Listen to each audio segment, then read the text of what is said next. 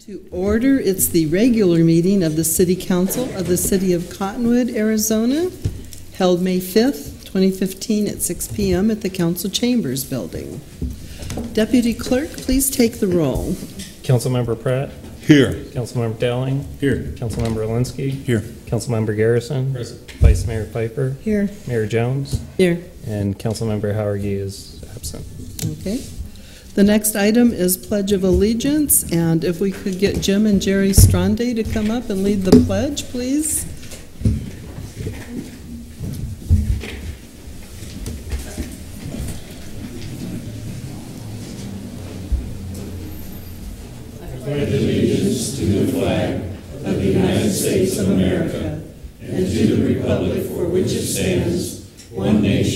under God, indivisible, with liberty and justice for all. Thank you very much. The next item is a brief summary of current events by mayor, city council, and/or city manager. The public body does not propose, discuss, deliberate, or take legal action on any matter brought up during the summary unless the specific matter is properly noticed for legal action. Mr. Bartosh? Uh, Madam Mayor, council members, uh, just a couple of items. Uh, Our water literacy program uh, kicked off last week. Um, The, uh, our youth commission attended the uh, governor's leadership day uh, down in Phoenix.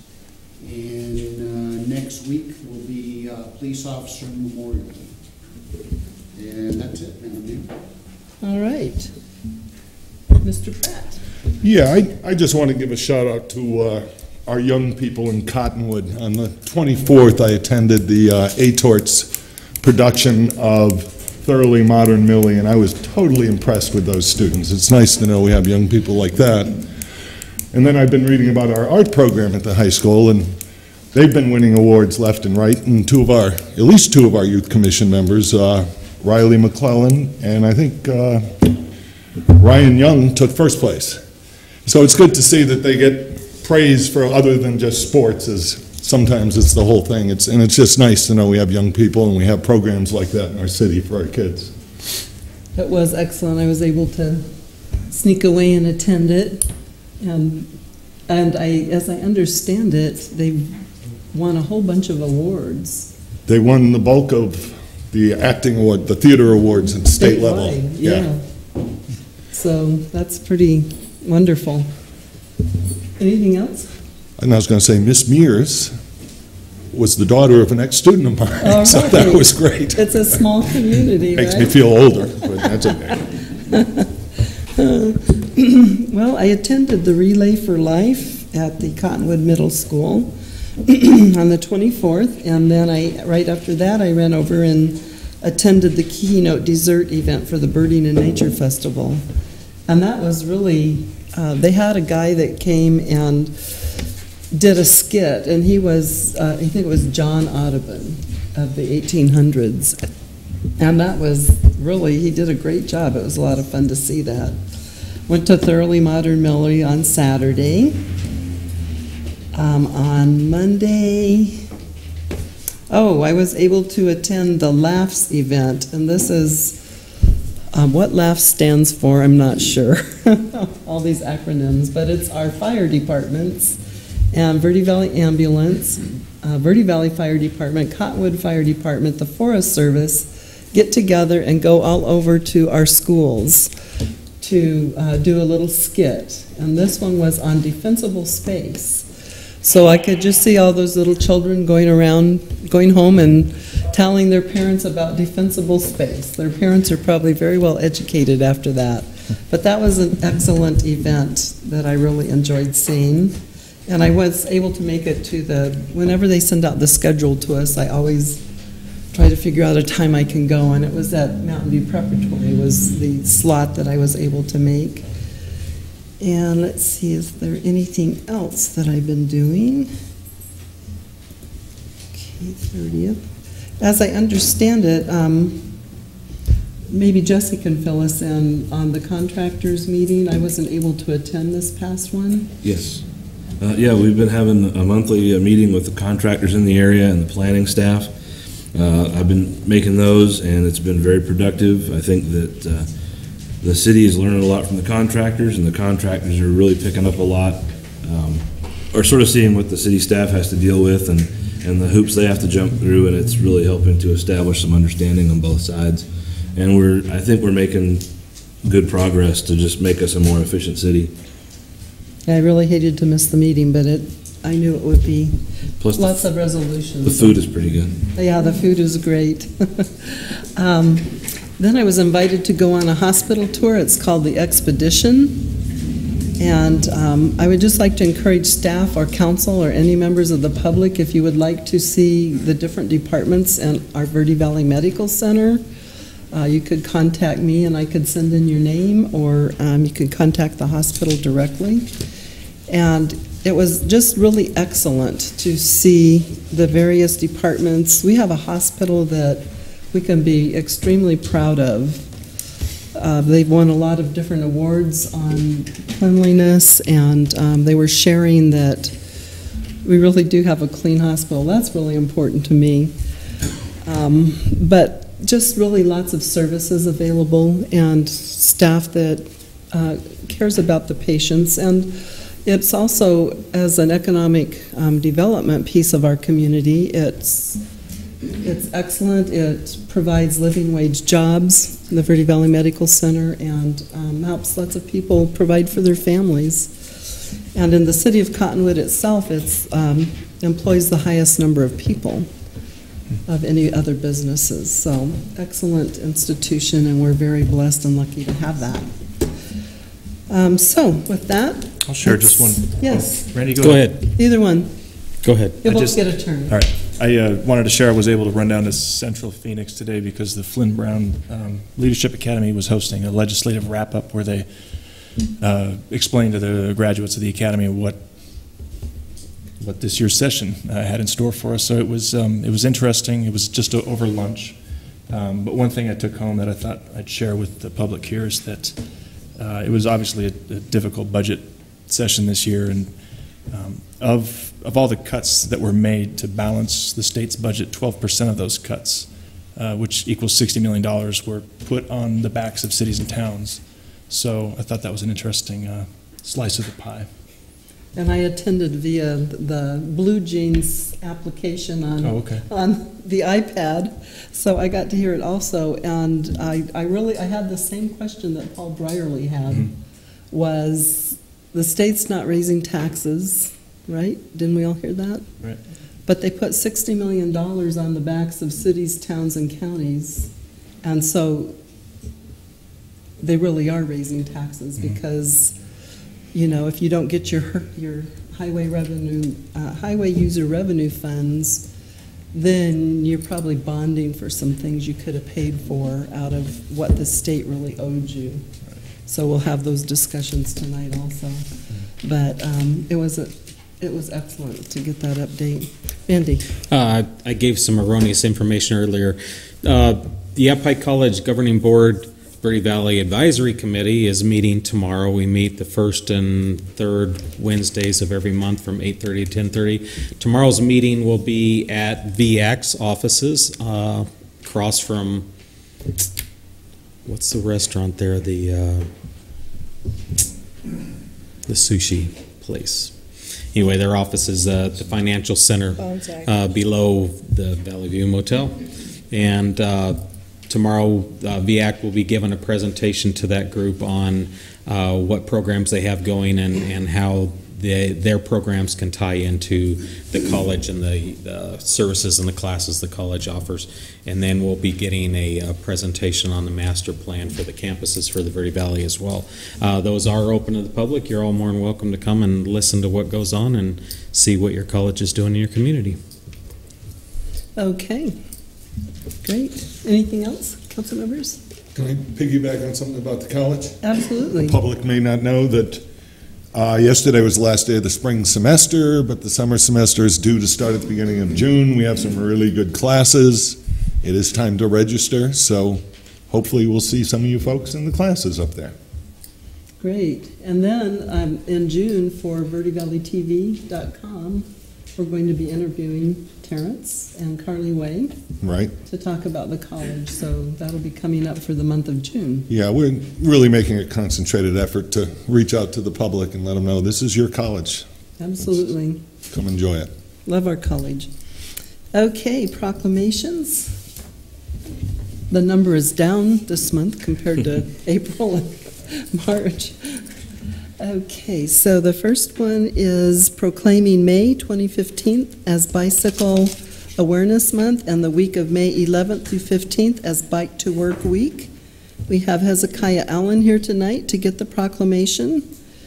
And so we'll go ahead. Do you want to share any information with us? Uh, Madam Mayor and Council, um, last Saturday we had our opening to the Bicycle Awareness Month with the Mayor's Ride and uh, the Bike Rodeo. It was a great turnout, and uh, that's why I'm here because most of the BAC members was at were at that those two events. So, thank you for this opportunity. And I didn't get over to Saturdays. Yes, we had really a great attendance for the bike ride. But I did miss our council members that were going to be there. Yes. But I, I think it was the best attendance that we've ever had Yeah. for a bike ride. That's what, that's what I heard. Uh, And all of the writers were very pleased to hear that the council worked so hard, council and especially staff worked so hard on the bicycle issues in the community, and we're working on becoming, going from a bronze status to a silver. So they were all pleased to hear that. So the proclamation is, whereas for more than a century, the bicycle has been an important part of the lives of most Americans, and whereas today Americans are turning to the bicycle more than ever before as a means of becoming a part of the solution in our nation's quest to better our citizens' health, improve our environmental quality, and provide our energy independence, and do overwhelmingly support improving our quality of life and providing quality recreational opportunities for our families and our visitors. And whereas the League of American Bicyclists and its chapters have declared May, May as Bike Month since 1956. And whereas the City of Cottonwood Bicycle Advisory Committee, our Valley's chapter of the league, and independent cyclists throughout Arizona are calling for greater public awareness of bicycle operation and safety in an effort to reduce accidents, injuries, and fatalities, and to increase enjoyment for all. Now therefore, I, Diane Joens, Mayor of the City of Cottonwood, Arizona, do hereby proclaim May 20 2015 as Bicycle Awareness Month and the week of May 11th through 15th to be Bike to Work Week throughout all of Cottonwood and urge all residents, schools, city departments, and civic groups to support bicycling and for motorists, pedestrians, and bicyclists to work together to share our streets, roads, and trails. In witness whereof I have hereunto set my hand and caused to be affixed the seal of the city of Cottonwood, Arizona, this fifth day of May 2015. And I'd like the council to come up and staff, whoever's uh, on our staff, I think most of them are in the back, but um, Commander Eisenka, whoever works in the city on bicycle issues, if you come up and help me present this.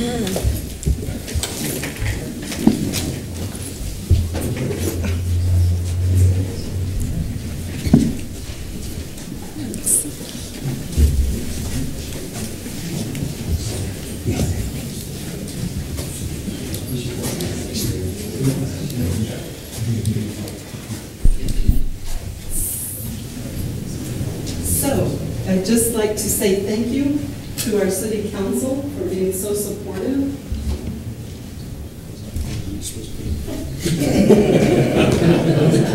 So, so who, who do you think when the council directs gets all this stuff done?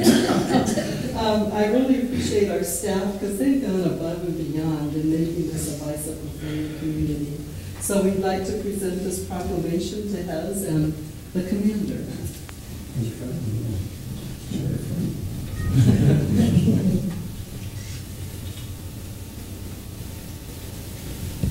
Thank you very much.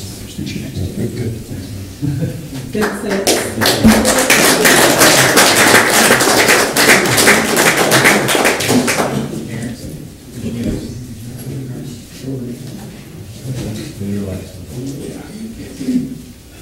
And thank you, thank the committee on our behalf also.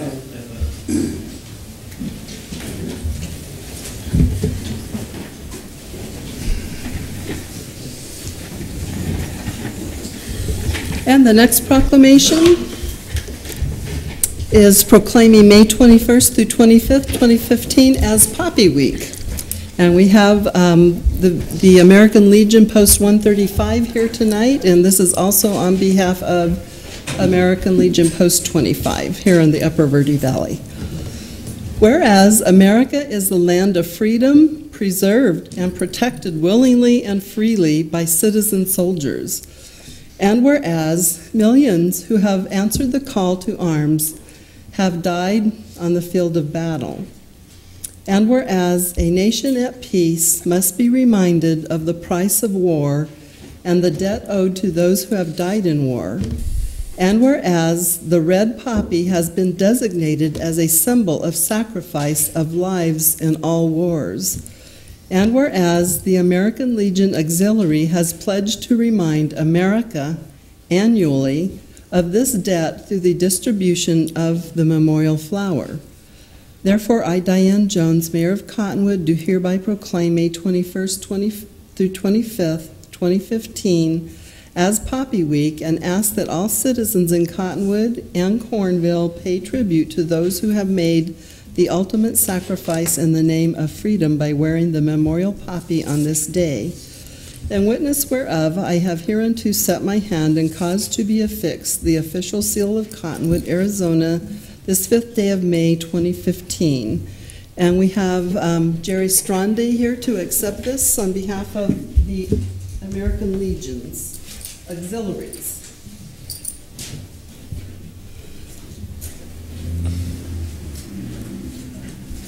So on behalf of the city council, we would like to present this proclamation to you.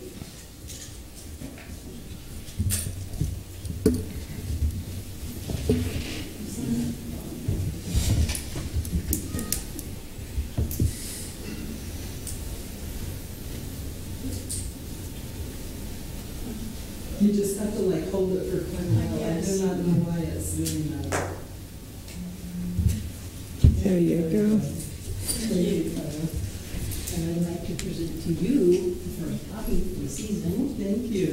And brought one for councilmen, ladies. Thank you. I have another to nominate in the packet. So to give that to them, I have to undo this. But you're a really talented woman. This is Oh, the easy step. uh, The easiest thing I've done all day.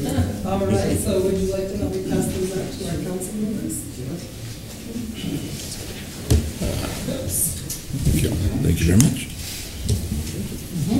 Thank you. Now, just because you're getting one tonight doesn't mean you don't need, don't. Copies are never sold. If anybody Thank you. ever tells you they are selling copies, we are not. We are making donations for copies. And all the funds that we earn through the copy program, if it's here or Sedona or Phoenix, the money, hundred percent of the proceeds go to support the veterans.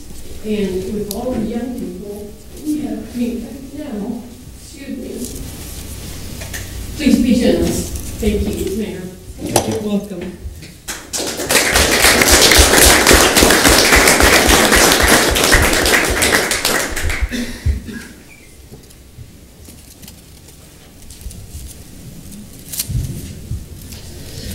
In remembrance of all those who have sacrificed.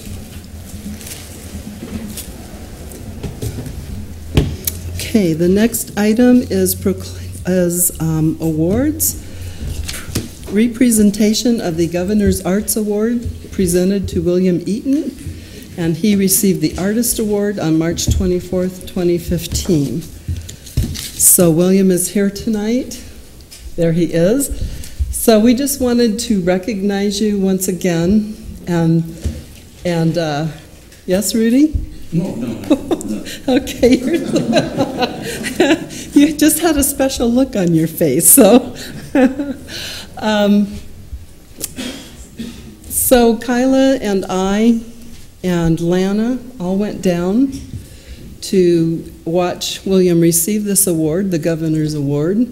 Is there anything that Kyla or Lana would like to share about the evening that we went down? It's you haven't got a lot of time to think about that. And I, I will go ahead and share, as Lana will probably share with you, the arts in Cottonwood and the Verde Valley are extremely important to our economic development. But if you ladies would like to share? I think it was it was an awesome event. It was such an amazing thing to see so many people so invested in the arts. And I can't think of another individual that represents the valley with our superior um, events that we have here and our superior representation of the arts more than William Eaton. So so pleased that he got it. It was an amazing night because there were a number of people uh, that were nominated in each category. And the category that William won in, there were 15 nominations. The others had maybe six or seven. So uh, Cottonwood really got to shine that night. And um, William had no idea, so it was great just to see the look on his face when he figured out it was him.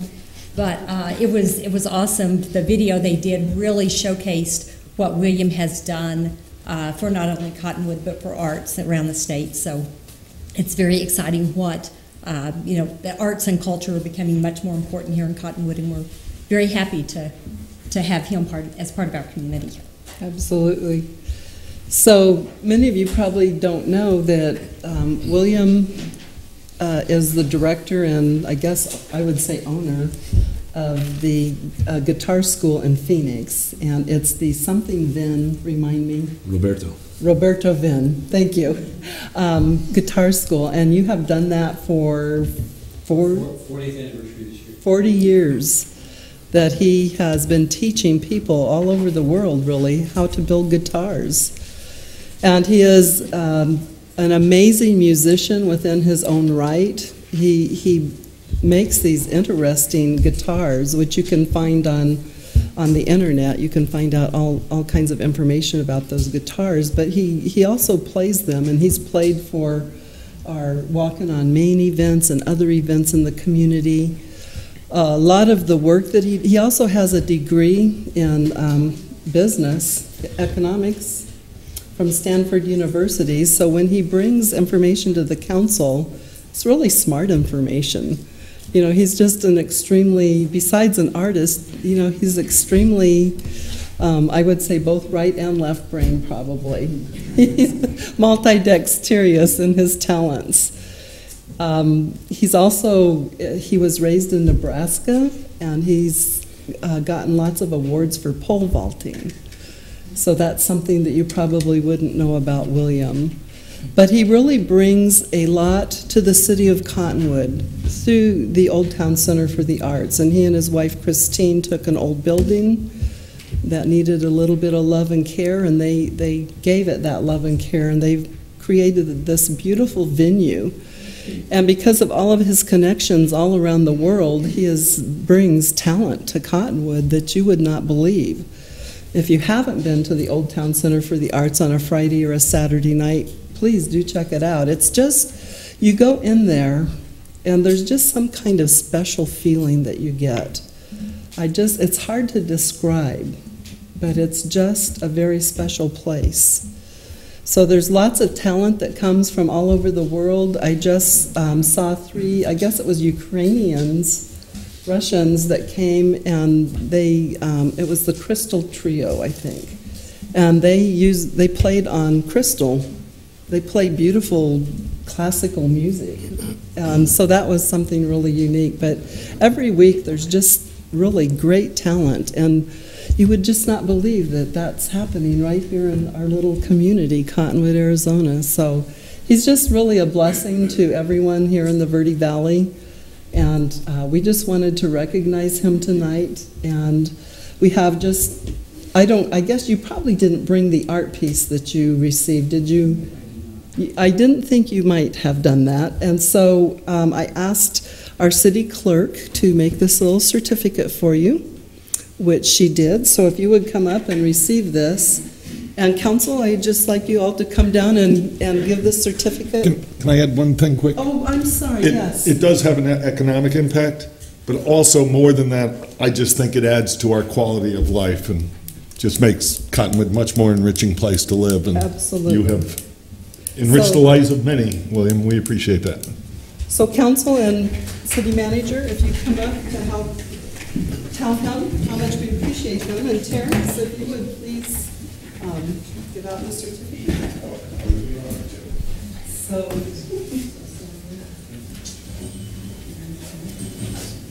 So Terrence is going to give out the certificate because he is quite involved in the arts himself, so.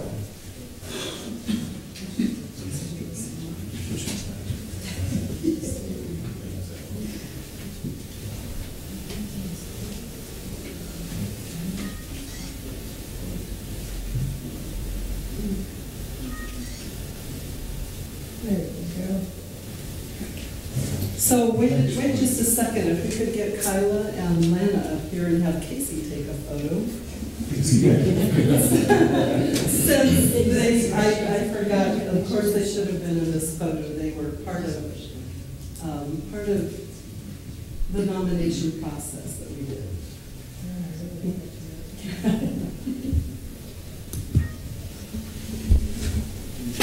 Okay, one more.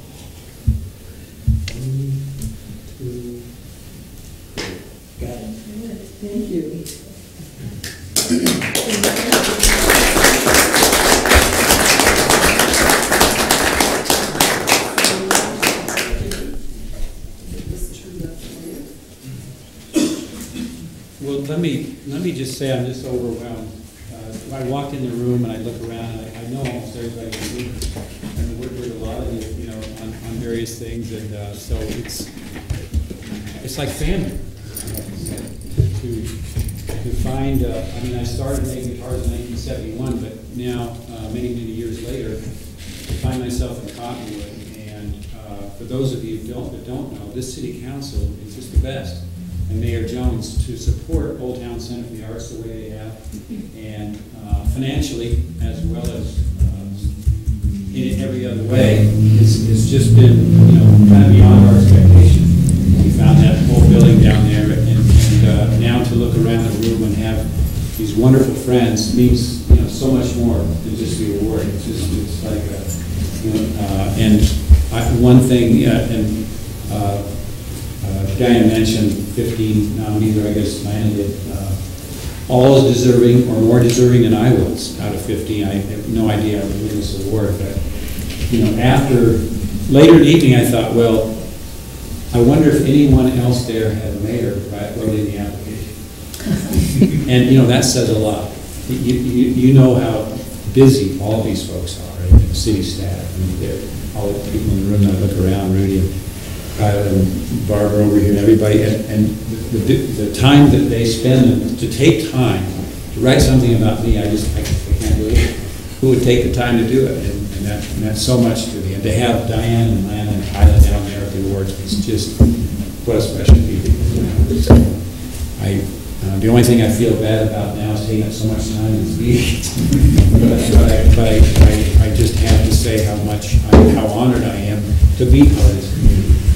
And, uh, you know, to, to, have these things that happen and to be in the city of the decade.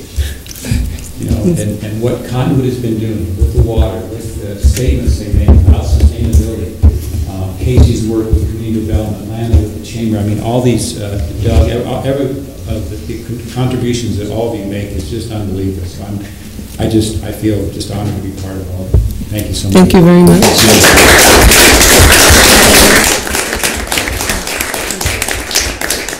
The vice mayor would like to make a comment. If you've never been there, it's really fantastic. I think what Diane was feeling, when you go through the doors of, of Old Town Center for the Arts, it's like going back in time. You can go into a movie theater any day, you get the same feeling, but when you go into there, it's, it's such a unique, peaceful, entertaining, uh, enjoyable evening, and it is like going back in time with the stage and, and the way that they I think set that it up. describes it. So thank you, William, for bringing that to Cottonwood. Okay, moving to the next item, presentations. Oh, let's see. Okay, presentations. Update um, from the Historic Preservation Commission regarding its annual report to the State Historic Preservation Office. And we have um, Charlie Scully with us tonight to explain this item to the public and the council. Okay, thank you, Madam Mayor and council members. I'm actually going to introduce Commissioner Ryan Bigelow, who will give the presentation. Uh, Ryan has been with the Historic Preservation Commission since it was first established by the City Council in 2010. And one of the projects that he was involved with uh, more recently was with the chair of the Historic Preservation Commission, who happens to be uh, Councilmember Tim Elinski. And that project was uh, working to uh, organize the first annual Cottonwood Historic Home and Building Tour last fall, which was very successful. So here's uh, Commissioner Ryan Bigelow. All right. Thank you, Ryan. Thanks, Charlie. Madam Mayor, Council, appreciate you guys' time tonight. Um, Charlie has uh, done a done a wonderful job along with Berrin and uh, Christina's help. Um, staff has just done a done a great job in supporting this commission as, as well as the council.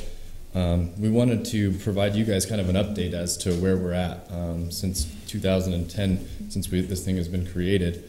Um, we, we feel like we've accomplished a lot and wanted to make sure that you guys and, and the public are aware of some of those accomplishments. So um, Charlie put together a, a really nice um, update to present to SHPO, which is the um, State Historic Preservation Office.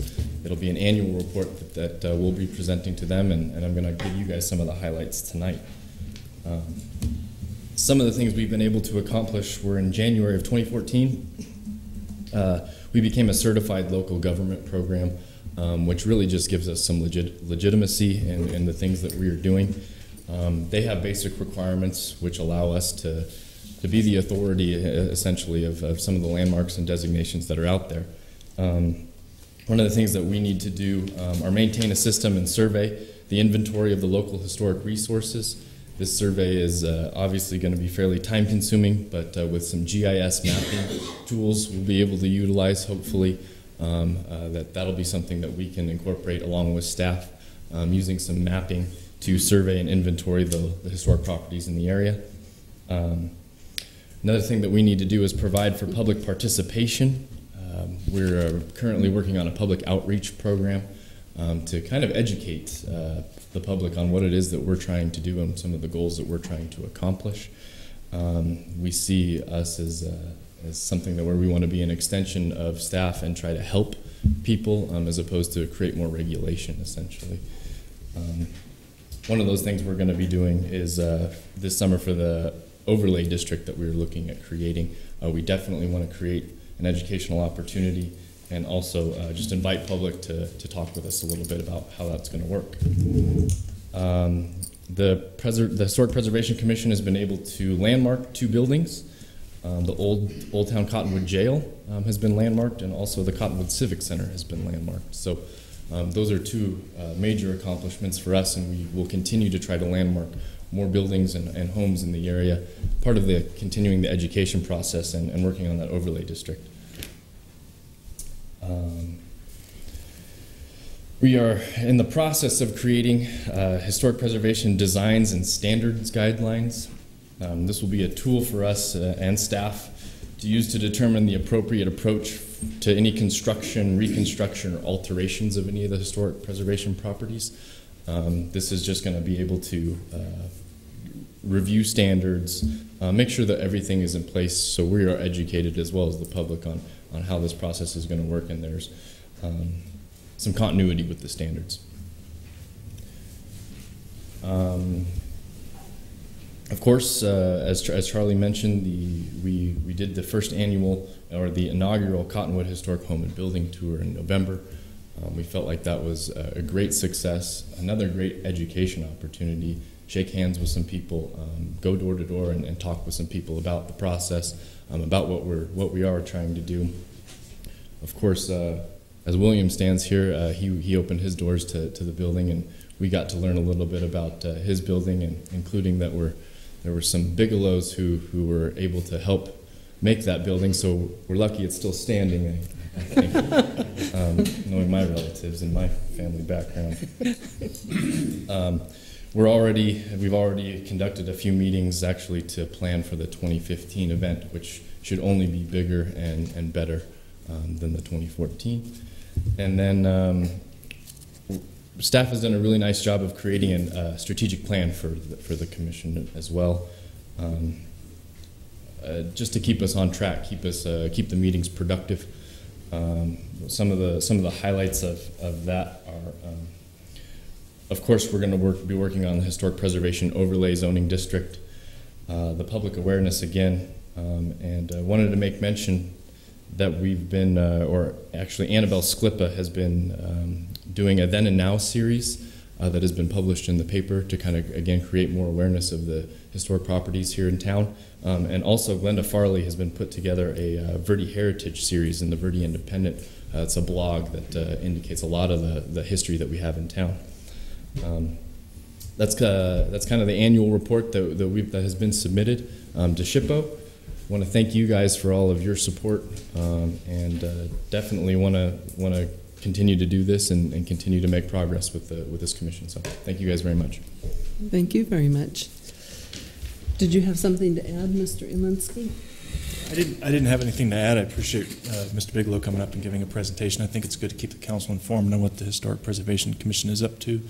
Um, I did maybe have a question for staff um, Charlie or Berrin, and that this is your opportunity to ask council if there's anything that council can do to support the Historic Preservation Commission more. The question is. Uh, the question is: Is there anything that staff feels uh, they need from council to help support the Historic Preservation Commission? This is your opportunity, Charlie, to two million to, to beg. I think we'll have uh, some uh, more ideas from the commission that we would like to bring those ideas forward in a, a more organized manner. Mm-hmm. And there's been so many different ideas that I think you'll find some of them are um, ways to bring us up to speed and, uh, with what other communities are doing to recognize historic preservation, more uh, identification of that we have a historic district, a national historic district. It'd be nice to have some signage be nice to identify some more signage. Those are like bronze plaques that have some cost. Mm-hmm. But uh, there's things like that that people would like to see, residents and tourists and everybody.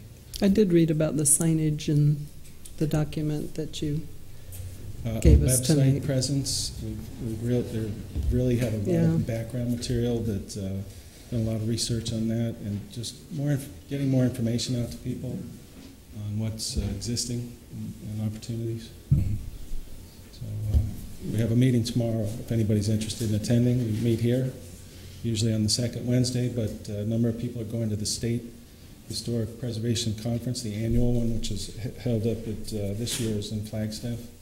That starts in a couple next week. So.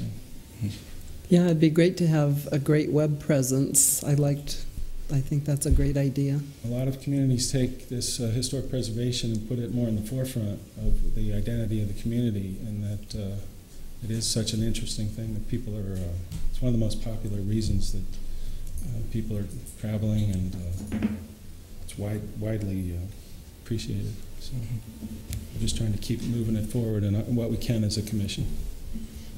I'd like to say that we had an intern recently, Jason Valencia, who uh, helped the commission out tremendously. So any support the council could give us to retain another intern or keep him or get another, get a whole bunch of interns. Fleet. a fleet of interns would be would be great. A fleet of interns. but it, it, does help, you know, relieve the burden of staff from their day to day. I know, I, you know, I begged and pleaded to get the Historic Preservation Commission formed, and so we didn't increase any staff. We just increased the burden on staff. Um, but uh, we have made a lot of headway, and I think we could be a lot more effective if there was another intern, another part-time position, somebody else to help out the, the, uh, the planning department. Um, because Charlie's right, uh, historic preservation is one of the driving um, reasons people it's, it's a tourism, it's, a, it's an economic driver, frankly, and I think we could do a lot more if we had uh, more support and, of course, more money. Any other comments? Any comments from members of the public? If not, thank you very much for the presentation and the update. And keep up the great work, all of you. Okay, the next item is call to the public. This portion of the agenda is set aside for the public to address the council regarding an item that is not listed on the agenda for discussion. However, the council cannot engage in discussion regarding any item that is not officially listed on the agenda for discussion and/or action. Comments are limited to a five-minute time period. And we have Mr. Hahn with us tonight, who would like to make comments. I'm not here to ask you for anything tonight. And you may be aware of this already, but if you're not, in 1979, the town of Cottonwood purchased 52 acres, which became the Riverfront Park. Uh, in the next few years, three additional parcels were purchased or accepted as gifts. And with each of these three parcels, the town uh, signed contracts agreeing not to use these for sewer treatment plants. Uh, this might be needed to be researched to make sure that you don't lose some property or get involved in lawsuits. lawsuits. Uh, the other item is uh, this year, 2015, is the 130th anniversary of the town of Cottonwood founding. Uh, on July the 9th, 1885, uh, the first post office was established here in Cottonwood. So this makes 130 years. So if you're looking for an excuse to have a party, that's it. That's all I have. Thank you. And Mr. Hahn is a former mayor. You will see his, his uh, photo up on the wall. And what years did you serve as mayor? Oh, 79 to 86, something like that. Quite a while, quite a lot of years. All right. All right, great. And in those days, I think the mayor was appointed by the city council, is that correct? And so you um, were able to have a good relationship with your council and get appointed three times? Most of the time. All right, thank you very much for those comments. Um, Barbara Luttrell is here to talk about mental health awareness.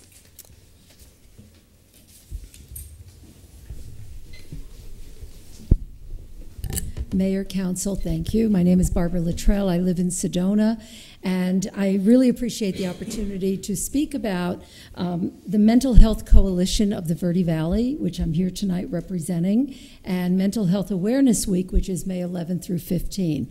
I missed your deadline for a proclamation. I apologize, but I appreciate the opportunity to bring you up to date on this because a number of the events are taking place in Cottonwood. Um, the Mental Health Coalition was formed in 2013 in September as a result of a statewide conversation about mental health issues in Arizona. And at the end of that meeting, which took place at Yavapai College in Sedona, uh, there were there were professionals at that from all areas of the mental health arena. And at the end of it, as you looked around, it was obvious that people wanted to continue to do something. And so a steering committee formed and has been meeting. The group has been meeting on a monthly basis. There are about 70 members of the coalition at this point, and on a, on average, about 20 to 25 meet on a monthly basis. Uh, it was established with the vision of a safe, healthy, inclusive community where all individuals and families challenged by mental illness can live full and rewarding lives.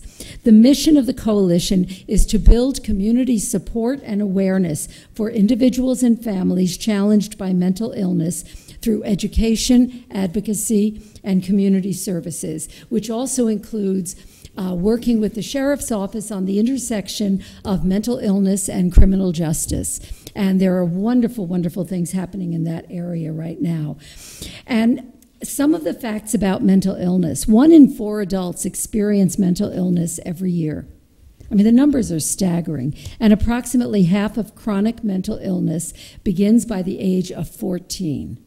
And so, adolescent mental illness is also a very important issue.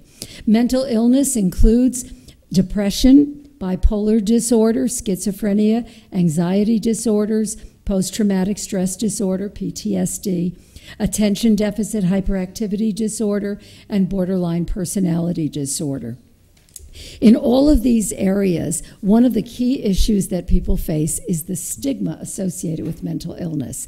And so the, the, mental, um, the Mental Health Coalition of the Verde Valley, uh, perhaps you could just pass this, pass this around, Doug. Thanks. The Mental Health um, Coalition of the Verde Valley established May 11 through 16 as Mental Health Awareness Week. We have 12 events taking place. The flyer is coming around to you, and I'll leave a few more on the back table for those of you in the public. They are presentations, speakers, films, and community conversations. And three of them are in Cottonwood on Tuesday, May 12th at 6 p.m. at the high school. Bullied to Silence will be shown, and a conversation will take place. And this is aimed at teachers and parents and community members and the students at the schools because bullying is a really, really significant problem.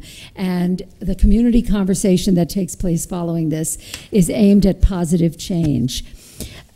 In addition to that, at, on Wednesday, May 13th at 1.30, addressing issues that relate to seniors in our community. And we know that many seniors, between um, memory loss and other issues that they're facing, the film Alive Inside is going to be shown. Elaine has been wonderful at the community center, and we'll be showing it at 1:30, and follow that up also with a community conversation. And I'm happy, and we also we have another event that evening at uh, Spectrum Healthcare where they will be talking about the changes to the access programs, and so that is open to the public. And I'm really happy William's here, so I can thank you in person, uh, because when I was looking for a venue to show Running from Crazy on Friday evening at 7 p.m., I just put in a call to William or sent him an email. And he said, yes, absolutely. So on Friday evening at 7 o'clock, we'll be showing Running from Crazy, which is the story of Mariel Hemingway and her family and the fact that they have faced suicide in almost every generation and how she has worked to break that cycle and for herself and her children. All of the events are free. So we invite all of you to attend. We invite all of the public to attend. Uh, there is a website that has all of the information on it. We're grateful to sponsors uh, who are helping us to finance a number of these projects. And I think my five minutes are up. So thank you very much, and I hope that you're able to attend. Thank you very much for coming down and sharing that information with us. Okay, moving on to the next item. Approval of minutes, work session of April 14th, 2015, and regular meeting of April 21st, 2015. They look good to me. Mr. Pratt? I move to approve the minutes of the work session of April 14th, 2015, and the regular meeting of April 21st, 2015. Second. So Mr. Pratt made the motion, Mr. Elinski seconded it. All in favor? Aye. Any opposed? Motion carries.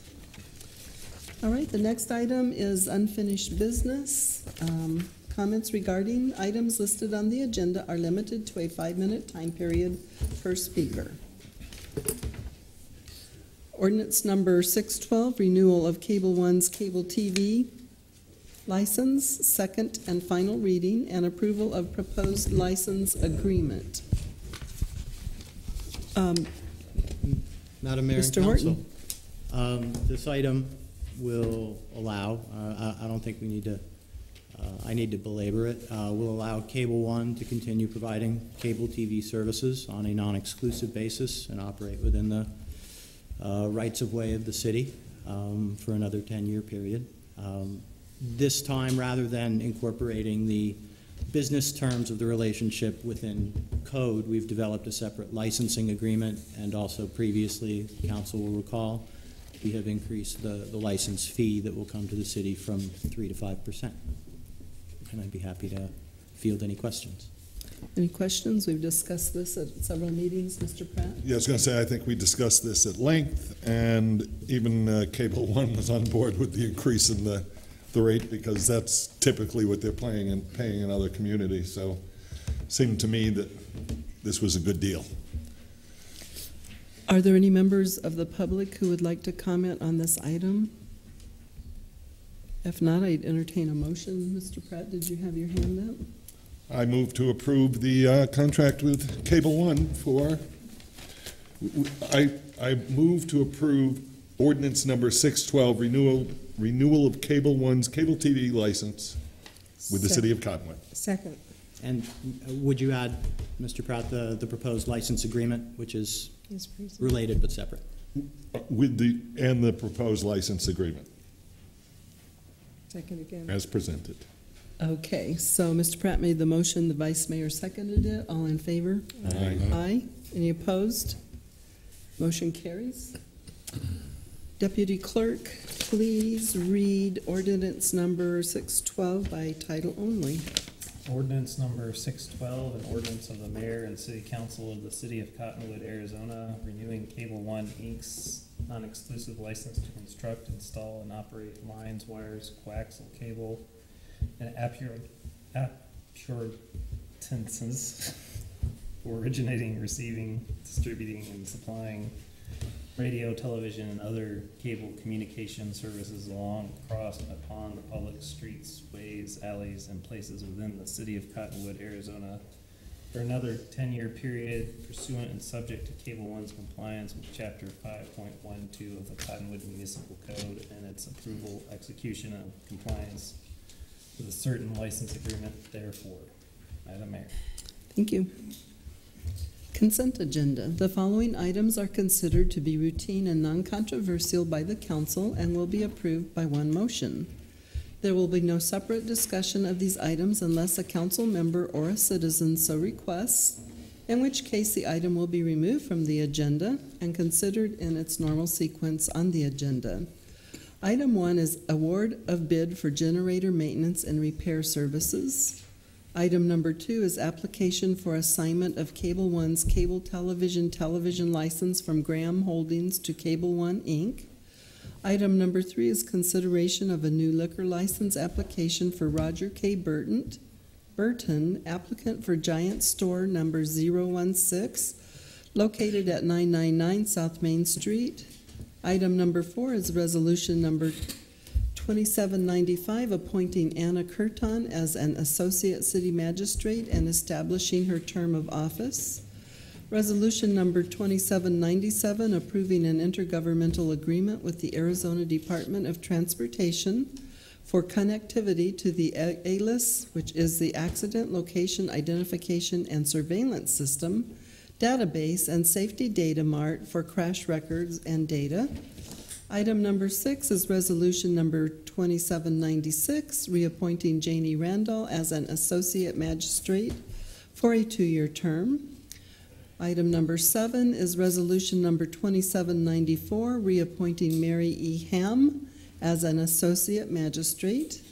Item number eight is acceptance of a perpetual maintenance and access easement for a water main line in the Mesquite Hills subdivision. Um, and it has the APN numbers there, which I don't think I need to read, so. Okay, so council, are there any items that you wish to be removed for discussion? Uh, members of the public, are there any items that you wish to have removed for discussion? If not, I'd entertain a motion. Vice Mayor? I move to approve the consent agenda. Second. So the mayor made a motion to approve the consent agenda, and who was first on the second? Who's the vice mayor? The vice mayor made the motion. Oh, the vice Thanks for mayor. the promotion. Here, move over here right now. I like where I am. Get over here and let's change seats. The vice mayor made the motion, and I'll say Councilman Garrison seconded it. All in favor? Aye. Any opposed? Motion carries. Deputy Clerk, you have a little reading to do tonight. Please read resolutions number 2795, resolution number 2797, resolution number 2796, and resolution number 2794 by title only. I'm just going to read them in order. Okay, have- please do that. Uh, resolution number twenty-seven ninety-four, a resolution of the mayor and city council of the city of Cottonwood, Arizona, appointing Mary E. Ham as an associate city magistrate and establishing her term of office. Resolution number twenty-seven ninety-five, a resolution of the mayor and city council of the city of Cottonwood, Arizona, appointing Anna Curtin as an associate city magistrate, establishing her term of office. Resolution number twenty-seven ninety-six, a resolution of the mayor and city council of the city of Cottonwood, Arizona, reappointing Janie B. Randall as an associate city magistrate and establishing her term of office. And resolution number twenty-seven ninety-seven, a resolution of the mayor and city council of the city of Cottonwood, Arizona, approving an intergovernmental agreement with the Arizona Department of Transportation for connectivity to the ALS database and safety department for crash records and data. Okay. Data mark, crash records and data. All right, thank you very much. So how is that really pronounced, that acronym, ALIS or ALIS, or, do you know? I think the second S is system. Okay. Uh, It said, I mean, in the documents, it- and it says here too, but I just didn't know how to say it myself. Okay, new business. The following items are for council discussion, consideration, and possible legal action. Consideration and possible adoption of resolution number 2793 approving the sale and execution and delivery of not to exceed $18 million aggregate principal amount of pledged revenue obligations, evidencing a proportionate interest of the owners thereof in a purchase agreement, approving the form and authorizing the execution and delivery of such pur- purchase agreement and other necessary related agreements, instruments, and documents, delegating authority to determine certain matters and terms with respect to the foregoing, adopting post-issuance tax compliance and continuing disclosure compliance procedures, authorizing the taking of all other actions necessary to the consummation of the transactions contemplated by this resolution and declaring an emergency. Mr. Rodriguez. Mayor Council, I'm really glad uh, the Mayor read that out, because that is awfully long. Um, we- We've kind of touched base on this item on and off over the years, and you may recall that back in, we've been talking about this since about 2008, uh, where we had several capital projects that needed to move forward, and rather than bonding then, we went ahead and started uh, paying a lot of them out of our capital improvements fund with, uh, with the idea that we would be coming back at some point and and reimbursing ourselves for some of these major capital projects. And we did pass several, several resolutions as we went along to that effect. Uh, we As have- we did projects. Some of them have expired, however, we're, we're actually looking to uh, reim- reimburse ourselves for the uh, 12th Street project from First Street to 89A. Uh, It's in two different sections, but the total uh, reimbursement uh, will be, about $3.5 million. Dominguez Street project, which went from, is going from Willard all the way down to Main, $3.8 million. Um, the the Mesquite Hills Water Line Project to a quarter of a million dollars. Uh, the Mesquite, uh, I mean, the water, um, uh, roof removal, water wastewater roof, roof removal and solar project, uh, over at our wastewater treatment plant to the tune of half a million dollars. We're looking to, uh, build one restroom over at the kids' park, uh, and relocate the one over at Garrison Street, the Garrison Park, and actually update the riverfront, uh, park restrooms to the tune of six hundred fifty thousand dollars. Our communications center that is currently, uh, already up and operational, we're looking at two point six million dollars worth of reimbursement to the city of Cottonwood. We also have a tentative item on there to the tune of four point three million dollars, which would be the, uh, the estimated cost to underground the utilities, which we've discussed in the past, as in this particular amount of fourteen million dollars. We have, we have set aside, uh, we have set a number of not to exceed of eighteen million dollars in case there's anything that comes up between now and the time we actually go out and float the, float these obligations. And, uh, we have discussed these in the past, and, um, I do have, uh, Grant Hamill, who's our financial advisor on, on such matters. He's been with us for, over twenty years, and he has, has never steered us wrong yet. Uh, and we don't expect this one, uh, to expect him to steer us wrong on this one, obviously. Uh, we've had some conversations on and off, uh, between the city manager, our attorneys, uh, there, our bond counsel, and, uh, and Grant Hamill and myself, uh, over the, this particular no, um, obligation, and, uh, we're asking council to please approve, uh, resolution, uh, number twenty-seven ninety-three, which will allow us to go move forward with this project. So council, uh, did Mr. Hamill want to share any information before we start questions or? Madam Member, Madam Mayor, members of the City Council, Grant Hamill with Stifel Nicolaus. The, uh, the term pledged revenue obligations is one that you probably haven't heard before, but that's really basically revenue bonds that the city would issue to finance the projects that Mr. Rodriguez described, as well as some of those projects for reimbursement. These would be revenue bonds uh, issued with a credit rating that would be applied for if the council decides to go forward. And the bonds would amortize over an approximately 25-year period of time uh, with an interest rate not to exceed four and a quarter percent, which is part of the resolution, but in actuality, um, in the current market, we would expect the interest rate to be around three and a half to three point seven five percent. Uh, These revenue bonds would be supported by uh, general excise tax revenues of the city, uh, which I believe this, uh, this year were budgeted at about fifteen and a half million dollars. The estimated debt service on the bonds would be about one and a quarter million dollars per year. So there's ample coverage there in support of the bonds, so we would anticipate pretty uh, strong uh, credit rating to be assigned to those bonds before they would be issued in the public markets. Um, And with that, I'd be very happy to answer any questions you may have. Mr. So Inoski? some of our revenue bonds um, have attached to them a debt coverage ratio.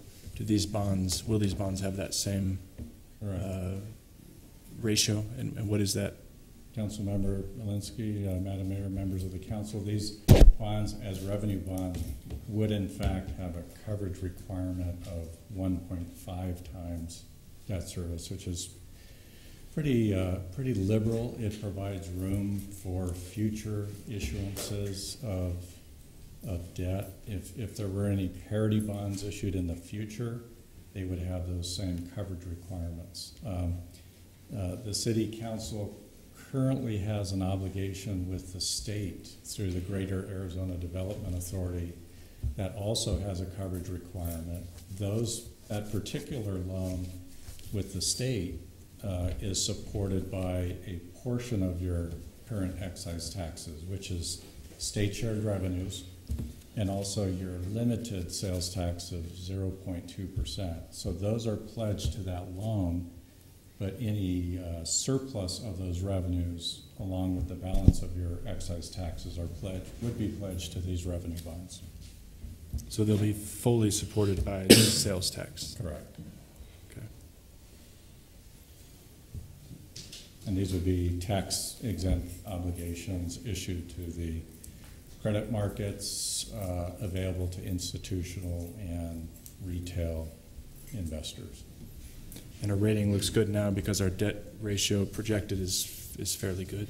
Uh, On these particular obligations, th- these would be completely separate from uh, your water revenue bonds. Uh, These would have a much higher coverage than your water revenue bonds, and therefore they should command a higher credit rating. I would anticipate they would be in the A to A-plus rating, which is, you know, uh, investment grade, medium investment grade rating.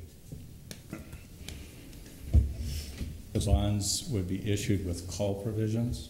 So if down the road, if interest rates came down, or if the city wanted to retire the debt, uh, the bond would probably have a, a ten-year call provision. So in 2025, the council could elect to call and retire uh, those bonds, uh, these bonds. Um, And of course, you want that provision in case interest rates come down and you elect to refinance that, that debt.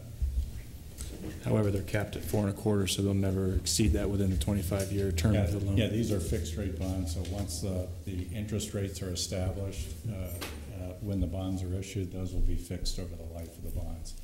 I would add that even though interest rates, as you know, have started to trend up the last few weeks, uh, the interest rates today are still about uh, 40 basis points lower than they were a year ago. So even though people are thinking, gosh, rates are trending up, from a historical perspective, they're really still quite strong. And it's a, a pretty favorable environment with which to issue debt. A lot of Arizona uh, issuers are selling debt in today's market principally for refunding purposes, uh, but also for some new money projects. But a lot of the volume is dominated by refinancings.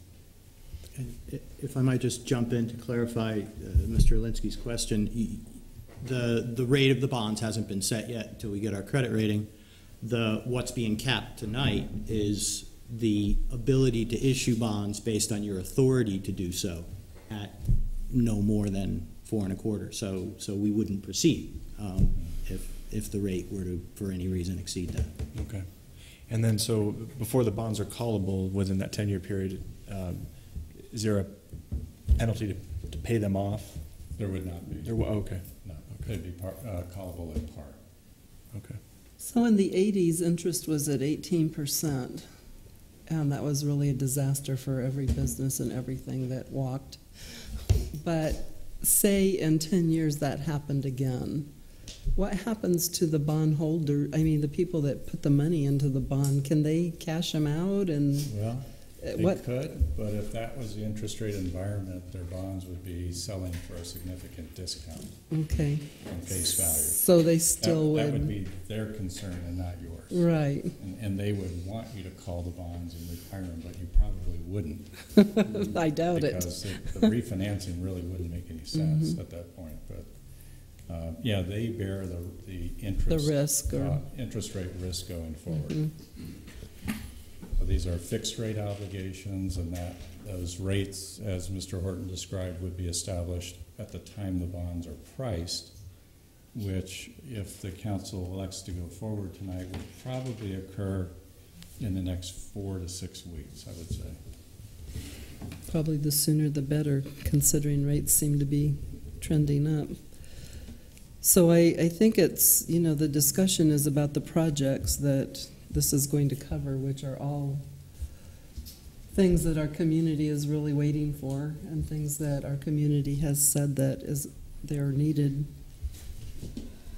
in, in the, in the city. So some very good projects are being funded. Yes. I just want to say this looks very advantageous to the city unless there's something included here that I'm not saying. It seems like we're kind of striking while the iron is hot, and it's probably a, a good time to go forward with this because of those rates. Any other comments? The only question I, I have is, are any of these bonds going to be available to the local public? Uh, Yes, Councilmember Garrison, uh, Madam Mayor, uh, the bonds would be available to local retail investors. Uh, At times, we have run advertisements in the paper, uh, just alerting uh, citizens for the communities that we represent that these bonds are being planned to be brought to market and would be available. They're in denominations of five thousand dollars, which is the typical amount of a municipal bond. Um, They are tax-free, uh, both state and federal income tax, but because of that, the yield is quite low. Uh, So, you know, uh, the attraction for folks to buy a ten-year bond yielding, you know, two point five percent or two point seven percent might be limited as compared to institutions that that are like mutual funds that have money to invest in tax-free bonds, and that's their, that's their mandate to take investor money in to buy these, to buy these bonds. So principally, the investors are institutional investors, but uh, any, any local interest in the bonds and demand can be satisfied as well. I know the, uh, the Cottonwood Creek School District, when they got their last bond, they, uh, because of the public asking for it, made sure that a certain, a certain percentage of those were made available to the local community. And it seems like that percentage was snapped up within a couple hours. So it, it's always nice to give your constituents a way to, to invest in their community and reap a little bit of reward for taking that gamble, so. Absolutely, and the school district is a client of ours, so we could certainly do that again for the city. Thank you. Madam Mayor? Yes. I can just add for, for you and the council, just reminding you that, that this resolution does contain an emergency clause, so it requires a three-quarters vote, not of the members present, but of the members impaneled. Um, And there are six of you here and, and seven on the council, so it will require five and a quarter of you um, to approve this. Don't I count for like two? Don't I count for the quarter? Okay, so I would like to um, ask members of the public for their thoughts and comments. If anybody would like to speak on this item.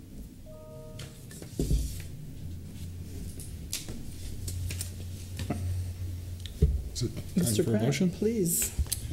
It's a long one. I move to approve resolution number 2793, approving the sale and execution and delivery of not to exceed $18 million aggregate principal amount of pledged revenue obligations, evidencing a proportionate interest of the owners thereof in a purchase agreement, approving the form and authorizing the execution of del- and delivery of such purchase agreement and other necessary related agreements, instruments, and documents, delegating authority to determine certain matters and terms with respect to the foregoing, adopting post-issue tax compliance and continuing disclosure compliance procedures, authorizing the taking of all other actions necessary to the consumption of the transactions contemplated by this resolution and declaring an emergency.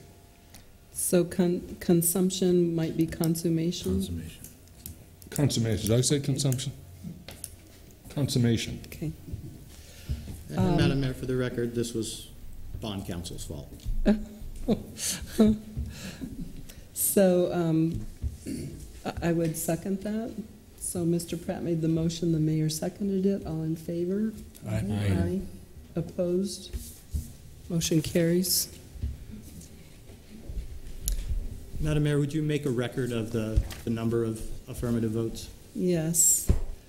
So for the record, uh, we have six members here, and it would require all six of us um, to have this pass because that's the supermajority requirement. So if you, um, for the, the deputy clerk to take uh, a show of hands, please. Sorry, the statute says eyes and noes. Eyes and noes. Oh, okay. So, uh, Mr. Pratt, aye or Aye. nay? Mr. Busy Dowling, Dowling? aye. Mr. Aye. Elinski? Aye? Aye. Aye. Thank you. You're welcome. Thank you very much. Deputy Clerk, please read Resolution Number 2793 by title only.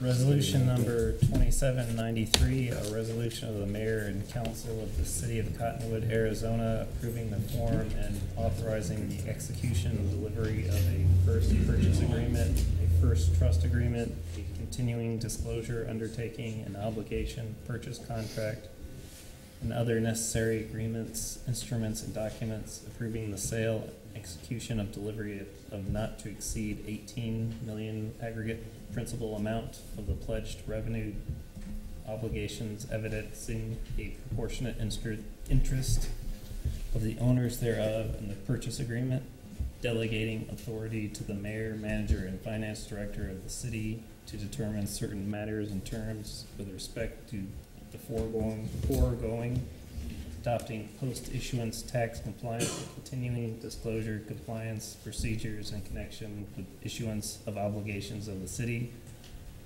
authorizing the taking of all other actions necessary to the consumption of transactions contemplated by the resolution and declaring an emergency.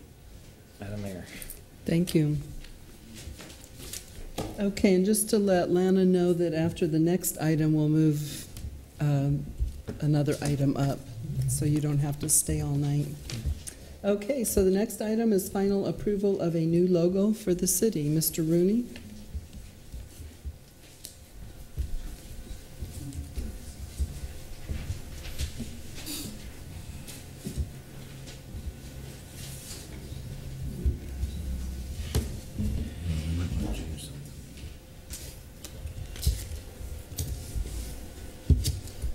Thank you.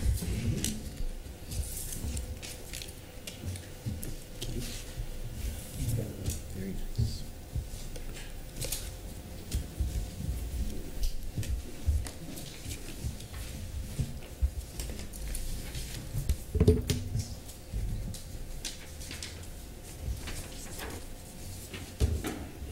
Thank you. Thank you.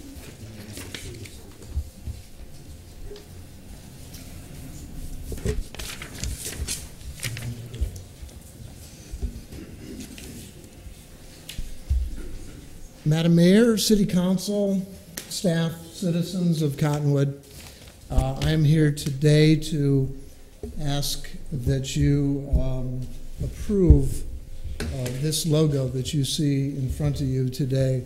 We reviewed this uh, at the last work session, and I was asked to bring it to, uh, to the, to the City Council. So here I am today, asking for your support. It's been, uh, as you all know, a long, drawn-out process, and we've uh, gotten a lot of citizen um, interaction and, and involvement and asked for their input. And we came up with a lot of different designs along the way. And uh, this is the one that, uh, that we've come up with. You see in front of you my business card. That's what it would look like on a uh, city business card, the logo. And then the other eight and a half by 11 that I gave to you, you'll see the logo down the bottom. That's going to go to um, Green Living Magazine. That'll go in the next edition. And it's, uh, you know, we got the sustainable, the 2015 Arizona Sustainable Economic Growth City of the Decade Award. And it's going into Green Living Magazine, which is all about sustainability and promoting Cottonwood and Old Town. So that is what we have before you. I ask for your support and approval of this logo, and um, the ball is in your court. Mr. Pratt? Yeah, we, we have spent a lot of time on this, and, um, you know, the, the logo that the, the public didn't like, I, I uh, actually missed that meeting, and, because I was at an award ceremony at the college, and when I woke up the next morning and saw it in the paper, I knew right away that was not going, to. I was, I was quite surprised by it. Um, But on this one, I've heard nothing but good things. Um, People are happy to have the river back, the cottonwood tree back. It's much more aesthetically pleasing, represents who we are. So I commend you for all your work and your ability to be flexible and take direction from us, and I think we've finally arrived at a logo. I have not taken any offense to any of this. Yeah, You well, I know. It's just, uh, Yep. it is what it is, and we went through the process. You've worked well with us, so Thank you. I appreciate that. Any other comments from the council? We've Had lots and lots of meetings and. Yep. And, okay, so I would open up the floor to the public to comment. The public's been with us right along throughout this process. And uh, they haven't been shy about sharing how they felt about things. And we've appreciated that input, because I think it helped us come up with something better that I really like, so. I think so. And if you look really close underneath the tree on the hill, there's a dead horse. Dead Horse State Park? Kidding, there's not, I'm just joking. Is that sitting underneath the grapevine? I would say you could probably imagine lots of different things. And, you know, the fact is, is that this was a very long process with a lot of community members involved. And we went through this whole branding thing, and the logo is just a little piece of it. And this logo, um, you know, it's it's for everything that we care about. It's for hang gliding, it's for paragliding, it's for um, hiking, biking, canoeing. There's, you know, any slick magazine that, and slick by I mean, that's what they call them, right? Because of, of the quality of the paper, but um, this can go on anything that happens in the Verde Valley to promote that event. It doesn't have to be about wine. But it's just that you couldn't get a hundred things on one logo. So, Mr. Eaton, did you have a comment? It's interesting to me when we have uh, people. You, you'll have to come up because of our television participation.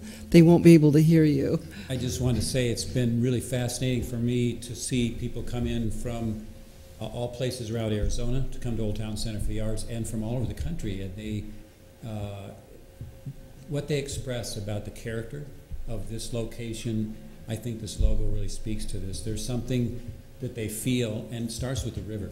You know, to have that uh, iconic symbol in there, and it's one of the few healthy rivers in the United States, North America continent. So to honor that and have that really up front in the logo, and, and, and of course the, the tree symbol, I think it, I think it's, personally, it's really evolved to a, a good place. Thank you very much. And I do, I love the river. It's very beautiful. And it's prominent in the logo. And of course, the tree, too. So, um, any other comments from members of the council? Mr. Pratt? I was going to move, I move to approve the new city logo design as proposed. Second. Mr. Pratt made the motion, the vice mayor seconded it. All in favor? Aye. Any opposed? Motion carries. Right on, Rooney. Great that. job, Mr. Rooney. Thank you. Uh, Does anybody else need the projector? If not, I'll turn it off. Uh, Does anybody else have a presentation coming up? Okay. You may turn it off. So I would like to move up the special event liquor license application on number five, submitted by Lana Tolleson, applicant for the Cottonwood Chamber of Commerce for a chamber mixer scheduled for May 21st, 2015 at 830 South Main Street, Suite 1H. Is there any discussion on this item? Is that one that you need to? I'm s- Just woke up. Ed D. Clerk, and what about, you're not on the board anymore, right, Mr. No. Pratt? So you can stay. Okay, so the vice mayor declares a conflict. Um, I would enter, any comments from the public on this item? If not, I'd entertain a motion, please. I'll move to uh, approve, recommend approval of the special event liquor license application submitted by Lana Tolleson for the Chamber of Commerce for a mixer scheduled May 21st, 2015. I'd second that.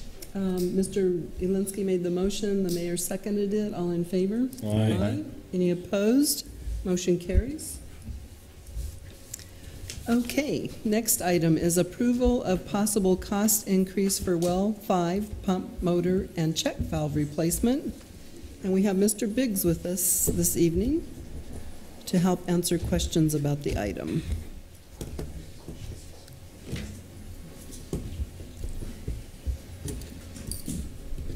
Madam Mayor, Council, uh, good evening. Good evening. Uh, The original bid for the uh, Well 5 rehabilitation project came in at $38,455.22. Um, This project started yesterday.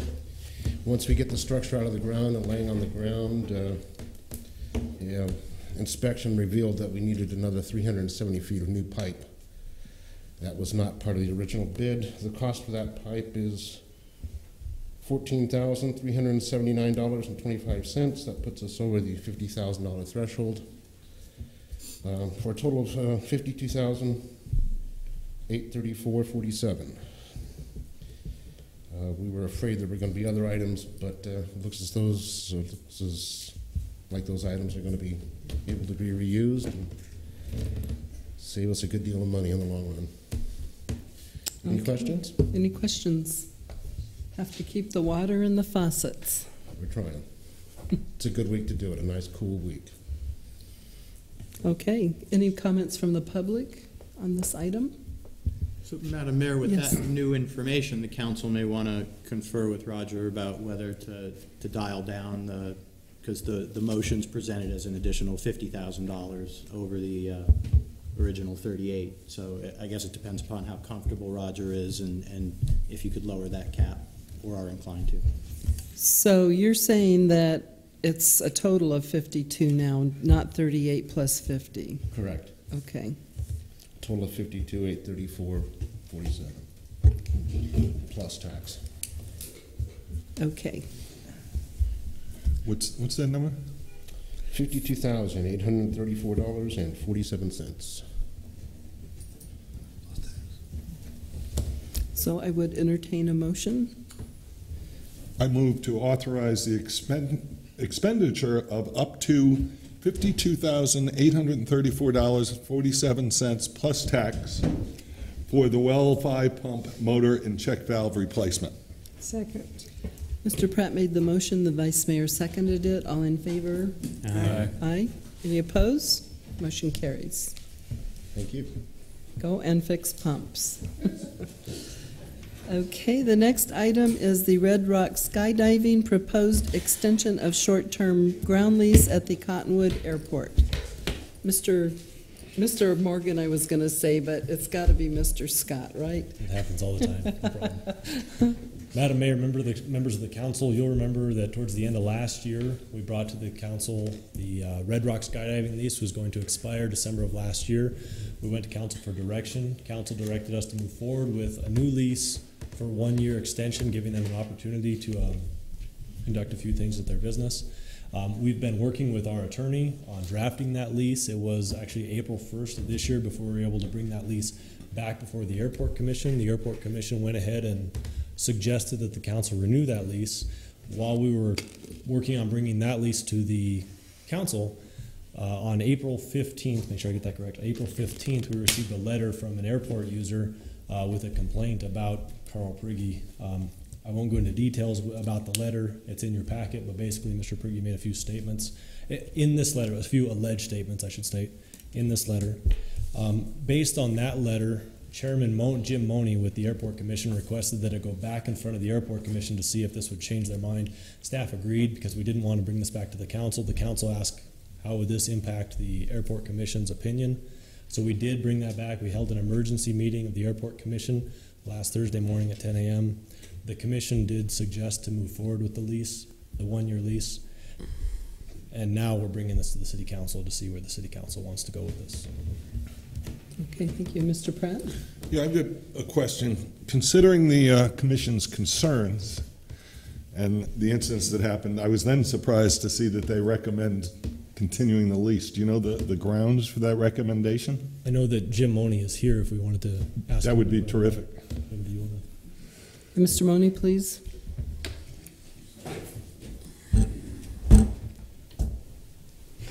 Jim Money, uh, Chairman of the Airport Commission. What was the question again? Well, you know, I was reading about the Airport Commission's concerns and the incidents that happened, and this is kind of a, a repeat of things that had happened in the past, which wasn't supposed to happen. And then when I saw that the commission did recommend extending the contract to the end of 2015, I wondered what the grounds for that recommendation were, considering the commission's concerns. Uh, This is a very troubling event, uh, and it caused a great deal of concern. There was a lot of discussion about it. Um, And the majority of the commission decided to, uh, to follow Mr. Morgan's, uh, Mr. Scott's lead uh, with recommending it to you. Yeah. And do you know the grounds for that recommendation? Considering this is kind of repeatable. Not that I can bring to mind. We, there was a lot of, lot of discussion back and forth, and uh, positive grounds, no. A great deal of disappointment. Uh, was expressed by the commission. It's deja vu all over again. Uh, And I personally feel we need to draw a line. Okay. Yeah, I, I thought, and I think most of the people on the council agree with me, we were quite generous last time and said, okay, we're going to renew this for a year, but we can't have incidents like this happening again. Um, I And then when they did, I was quite disappointed. I was too, and I agree with you completely. Um, But what the uh, commission ruled, the commission ruled. Okay, thank you. Thank you. Okay, council, any more questions or comments on the item? It appears to be, uh, you know, cut and dry, except that we haven't heard from Right, Mr. I was going so- to call them next. So, um, members of the public have asked to speak. We have a form filled out by Rick Evans and Sharon Prigge, so if Rick would come up, Rick Evans, please. I wouldn't mind giving her an opportunity to speak, but my is Rick Evans. I'm And a, she uh, will get a chance. Uh, my is Rick Evans. I'm a uh, airport user for the last 15 years. I uh, am a skydiver of almost 25 years, a USPA member. Um, I was a com- competition level skydiver regionally and nationally for a number of years in the 90s. I've traveled extensively all over the United States, jumping at uh, largest facilities all the way down to small one airport operations like we have here. Um, I've seen good facilities and I've seen bad facilities. I've seen facilities that once I got there, I wouldn't have gotten on their airplanes or utilized their equipment for fear of my own safety. Uh, in the 15 years of skydiving here on the Cottonwood Airport, we've been through three owners, uh, some better than others. And I have to say, from my personal background, that this is one of, if not the best, single airplane operation I've ever been at in anywhere in the United States. And I'm lucky to have this facility in my own backyard. Literally, can watch the parachutes come down from my backyard. Uh, skydive, uh, sorry, Red Rock Skydiving uh, attracts thousands of people to Cottonwood from all over the world, all over the state. People that travel from Tucson, passing every other facility in the state, which I've jumped at, uh, for one purpose to enjoy what you just put up here on the board with your city logo and your comments about the, the Verde Valley, where they're familiar with Sedona, they're familiar with the Red Rocks, and they want to see them from the air, and they want to experience them from this airport. Few of the people that I meet at Red Rock Skydiving have ever heard of Cottonwood prior to making their reservation. They didn't come here planning to do a wine tour or experience Old Town. They came here to see the Red Rocks from the air and make a skydive, check something off their bucket list. Um, about 99% of the time, people that come and visit, they get done with their skydive, they're all jazzed up, and they're like, what do we do next? And they're usually guided down into Old Town to various restaurants. We ask them what they want to do. Most of them just had planned on heading over to Sedona. Um, kind of scattered down some notes here briefly. This facility has a long-term safety record. Carl and Sharon have a commitment to safety, even at the expense of their own profits. Uh, I can't tell you how many times I've been there where they've turned people away because they either arrived after being down in Old Town and having a couple of cocktails, uh, various other reasons, weather. They're not one to push the limits. They're they're 100% behind safety. I noted on the form that I was in favor of this agenda item, but after reading the lease during the uh, previous sessions, I'm not sure how I could be in favor of a short-term lease such as this. I mean, how can any business that wants to provide any kind of a service out of the airport succeed with such a short-term lease? If you had a an airplane operator that wanted to come in here, they would never go with a month-to-month or a year-to-year lease. They'd want a a long-term, five-year, ten-year lease so they can lay down their roots, make plans. You know, this is not a cheap operation. I- I'm going out on a limb, I have no idea how much they have invested here, but I would venture to say, if I wanted to open a facility at this airport today, it would cost me at least a quarter of a million dollars, if not more, to put in what they have. In preparation to this, I attended the airport commission, in which I believe Mr. Money voted in favor. I never even heard opposition. I heard condescending comments and the like. I feel that after reading the previous minutes of the airport commission and the, of the city council, that Carl has at times been unfairly villainized by bringing up items that really had no bearing on the situation. Just because police were called for somebody who was throwing items on the airport, which he just reported in the city's best interest, it now circumvents around to when the lease comes up that that's just one more incident in which Carl Prigge was involved with police at the airport. So even when acting in the city's best interest, he's villainized. So why would he then, at this last alleged incident, want to get the city involved when he could go and address the person one on one? I know from a fact that when Carl is moved to make any comment to anybody about anything, whether it's a skydiver doing something on the airport or something else, it's in the interest of safety. The other person's safety, the safety of other airport operators on the airport. And that's pretty much all I have to say to that effect. I appreciate your time.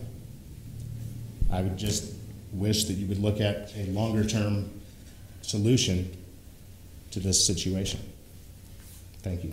Thank you very much. Appreciate your comments. Sharon Prigge?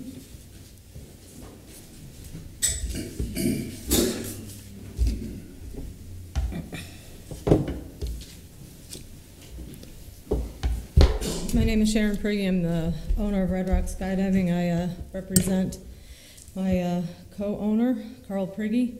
Um, about this letter from this power paraglider, uh, comical at best. Um, we had asked uh, Morgan Scott for a copy of that letter so we know exactly how to defend ourselves, and he refused to give us a copy.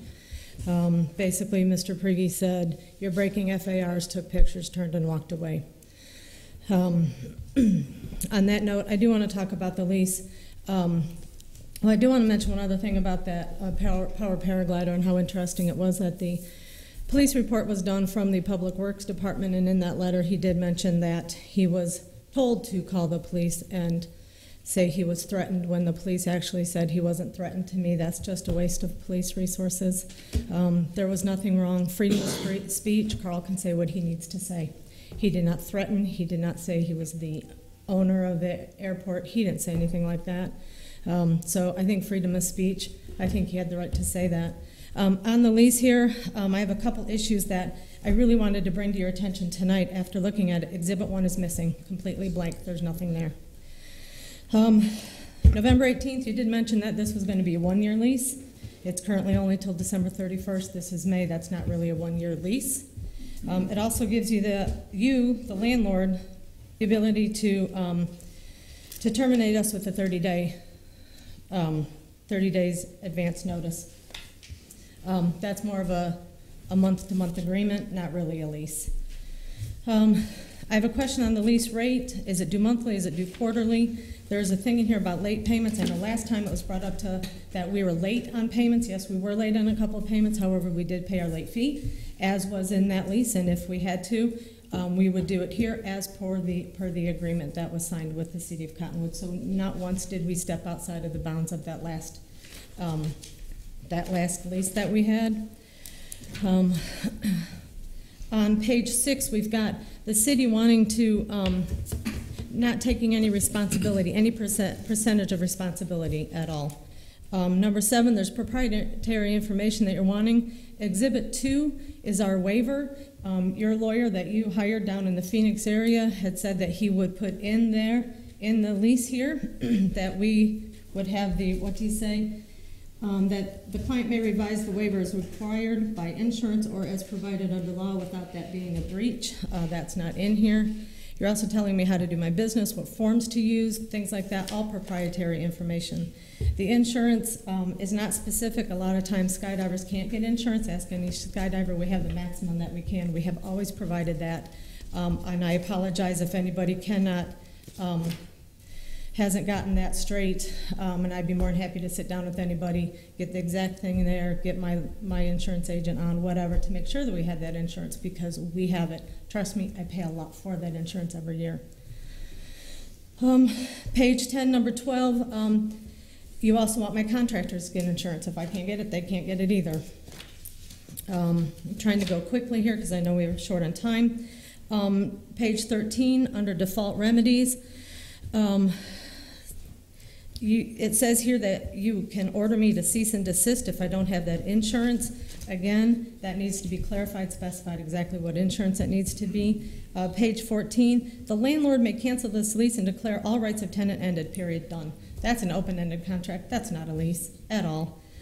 Um, and also, number two talks about the landlord may enter upon the premises. I just want to make, make it clear that this is a land lease, not a building lease. This building is mine. Um, it's just specific to the land this um, lease is. And um, we go on to um, the very last page, number um, R, again, proprietary information. You're wanting to see my records and my contractor's records, my books and things like that.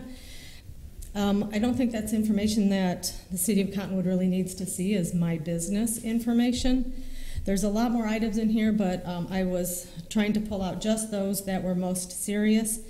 Um, and as uh, Rick Evans had mentioned, a lot of those police reports did not pertain to us.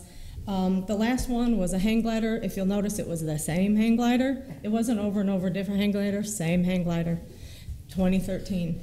This last incident with the power paraglider, I recommend you read that letter again and the police report. Um, also, we have pictures and stuff to back up our support of breaking FARs. Um, on that note, I would like to reserve the right to speak again just in case because I do want to make sure that my business is defended here. Thank you. Thank you. Any questions from council? Um, Tom Pender, please. Mayor, Council, Tom Pender. Uh, live here in Cottonwood. Also have an airplane based here at the uh, airport. Uh, one thing I can tell you about it, uh, Carl, is uh, he's passionate about his job and that and what he's doing up there and, and the things that uh, I've experienced from him.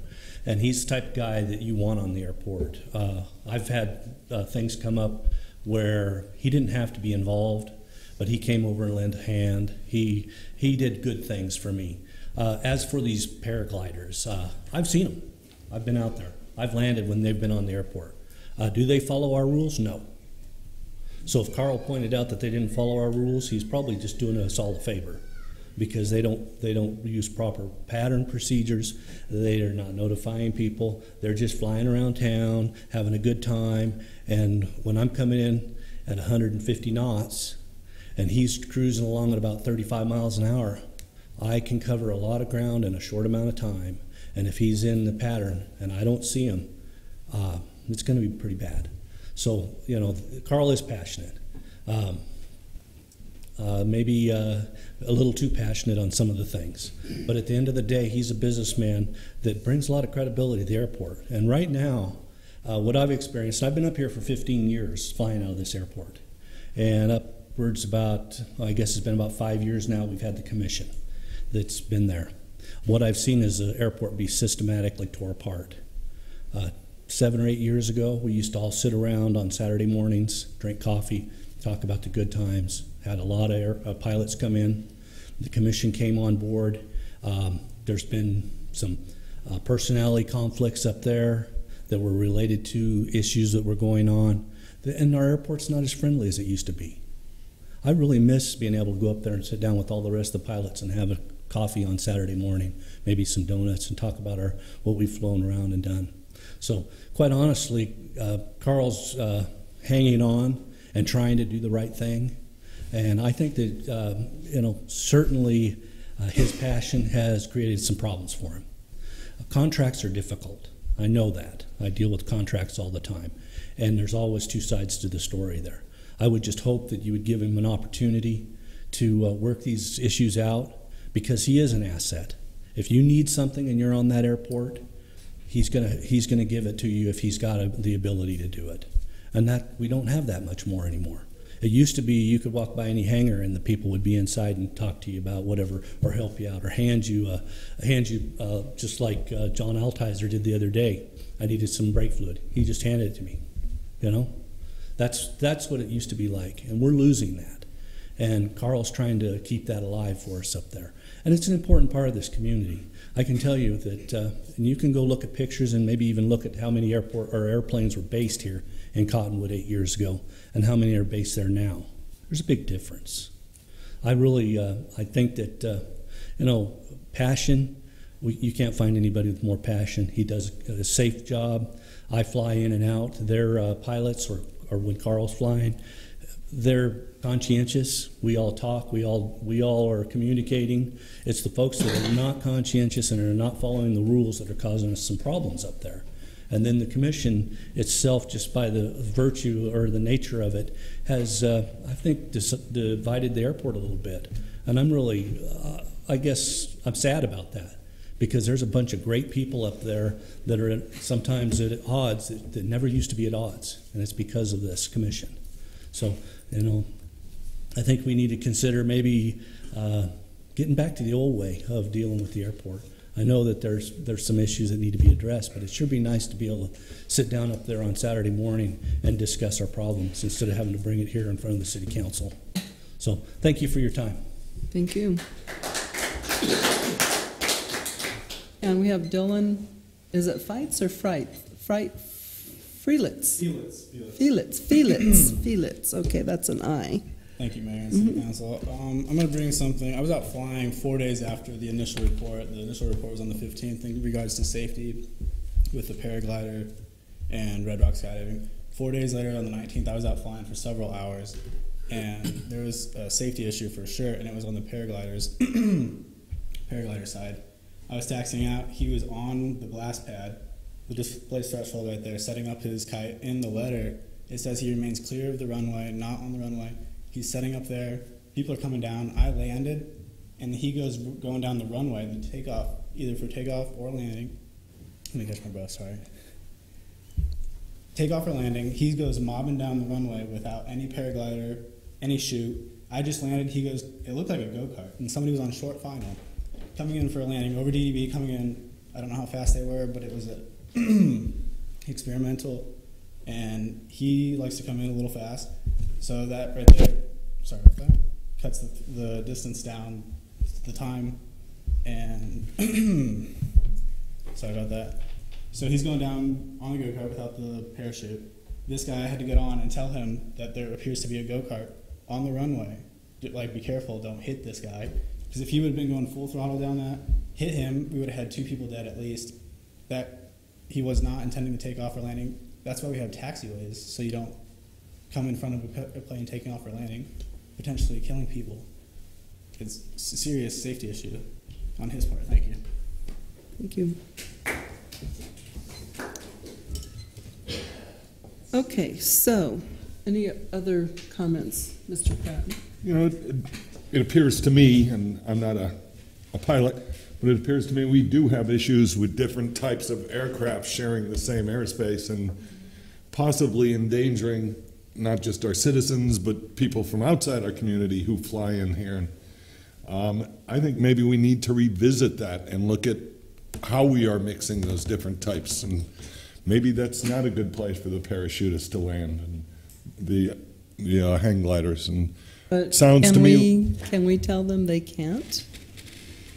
I mean, isn't this ruled by the FAA and everyone has a right to use the airport? I, Uh, there's, there's a couple different issues going on. Yes, every, we've checked this with our aviation attorney. Everyone has a right to use the airport. Um, this um, paraglider has a right to use the airport. He does not have a right to be done running down the runway without a parachute. That's absolutely not allowed.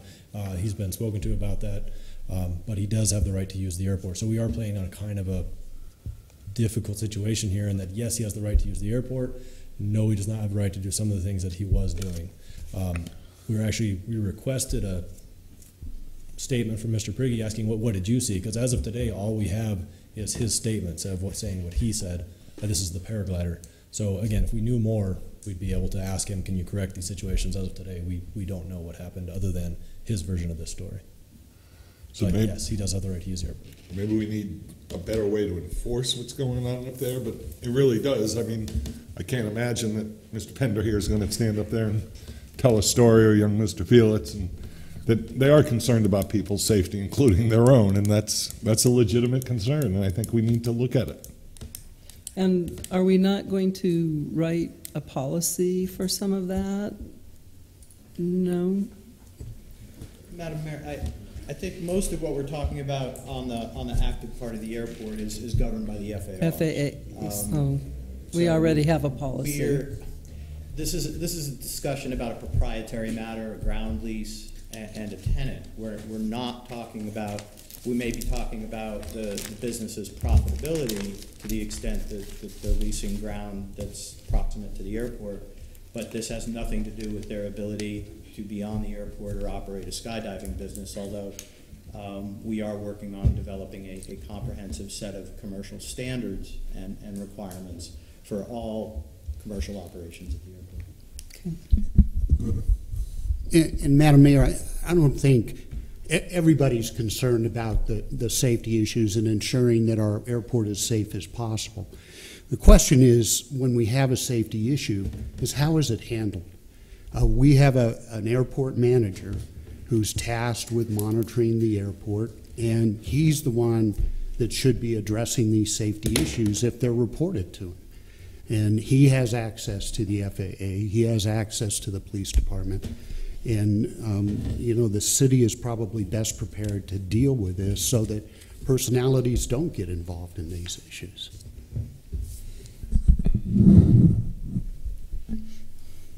Mr. Garrison? I got nothing to say.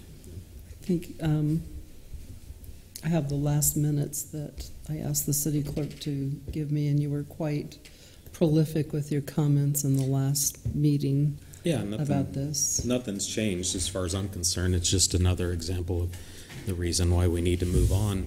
Um, I understand passion. I understand uh, wanting to be in there and support your business and support the use of the facility. And I think the airport is a underutilized asset of this community, and and uh, I fully support anything we can do to to make it a better example of, of what's right with aviation in Arizona.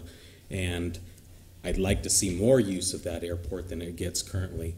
But that's a whole different argument than what we're here dealing with, which is a specific user and the continual misuse of their rights as it pertains to the space. And so that's really what we're here dealing with. And um, we, uh, as a group, last time decided to give direction to staff to create a, uh, a better contract so that uh, we could move forward with uh, some better terms and conditions on how that uh, space would be used. It sounds like that contract, from what we heard from Ms. Prigge, has some some issues with it. I do. I haven't read through it as well as she has. I haven't dealt with lawyers on it like she has, but I did see, did hear some issues in there that maybe we're asking for a little too much in, in what we're, how we're dealing with them in that contract. But uh, in its intent, I think the idea was to create a document that was not only usable for the Prigges, but for any other uh, commercial user that would move into that uh, space and utilize our facility. And so I think the idea is that we're trying to create something that protects not only the, uh, the city, but also the tenant as well. Uh, but at the end of the day, we didn't resolve the issue. The issue was to give another chance, uh, create a uh, time for things to get better and less aggressive on this space, and it isn't happening. And uh, I just don't see how in, increasing the term of this contract is going to make that uh, variable change any more than it already has. It's just a repetitive um, problem, and it's, it- I don't think it's going to correct itself, and I don't think the contract is going to correct it. So uh, moving down the road any further is just prolonging the problem.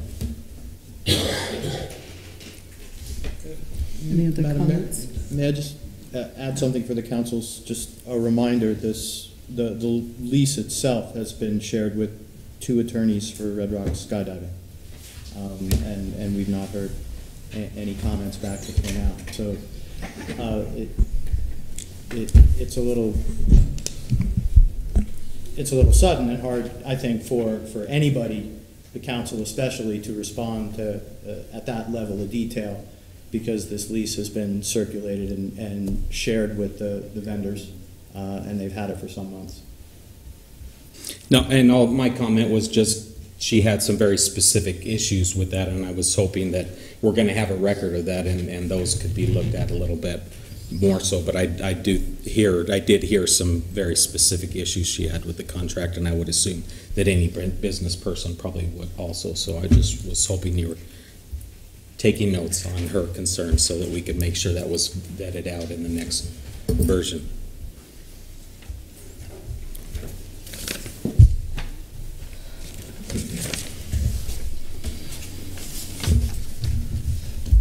Mary, please.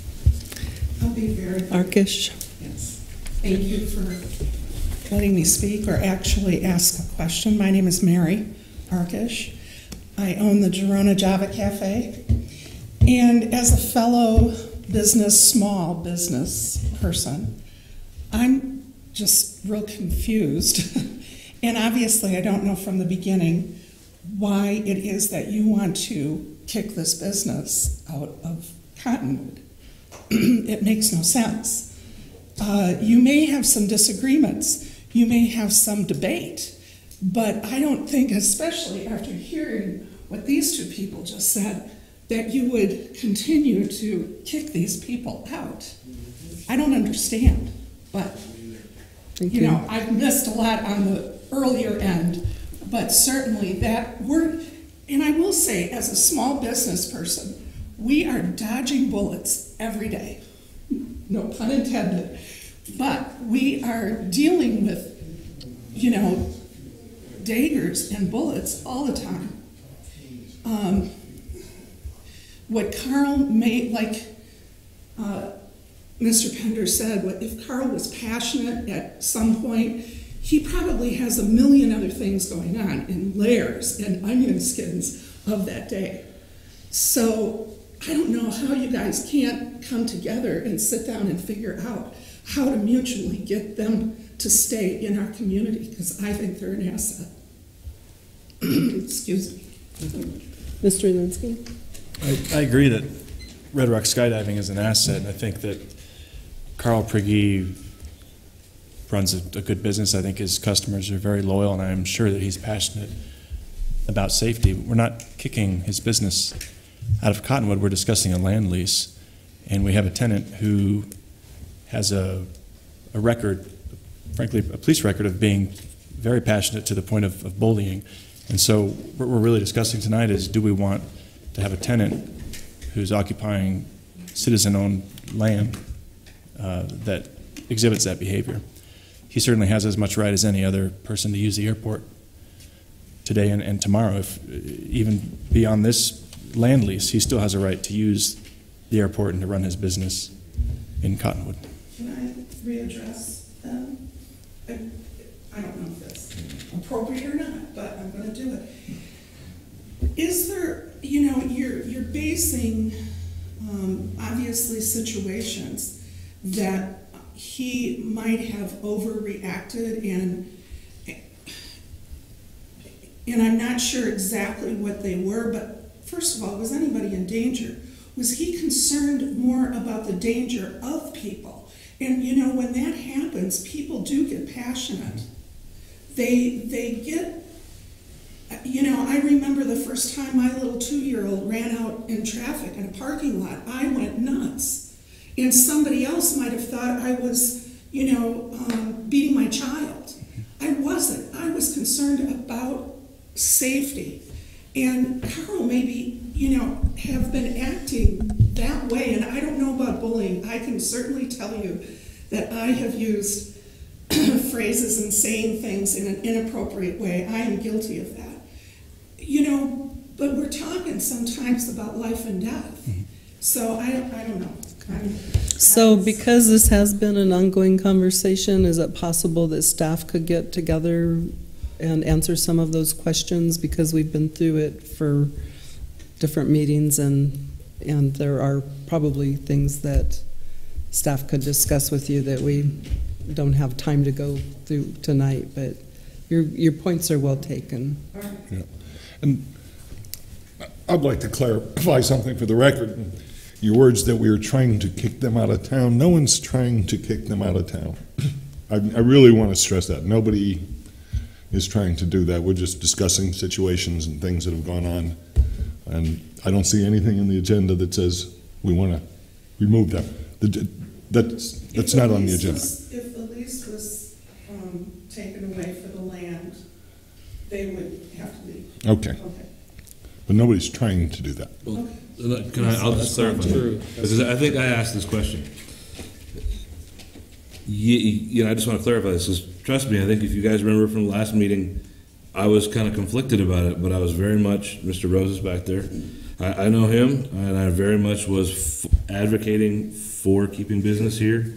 But I want to clarify that, um, that location is not exclusive. If they were to walk across the street and have the building there, they could do their pre-meetings, they could drive across the street to the airport in a van or whatever they wanted to do, get into an airplane and do the exact same procedure they're doing right now, if I'm not mistaken.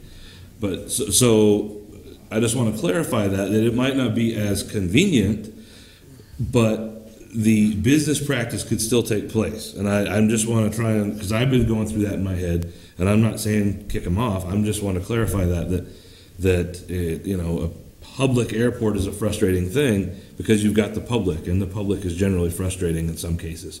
Um, so, you know, nobody here, if anything, everybody here is, is, uh, help us help you. You know, the last time this, this came up, I said, okay, we need to try and work something out. We need to try and make sure they know they have a place to do business going forward, and we'll try and come up with a contract that we can all deal with and accept. Um, you know, and I know that looking at specifics in, in looking at specific situations after the fact can lend itself to, to looking at it either way, depending on which, which end of the situation you're on.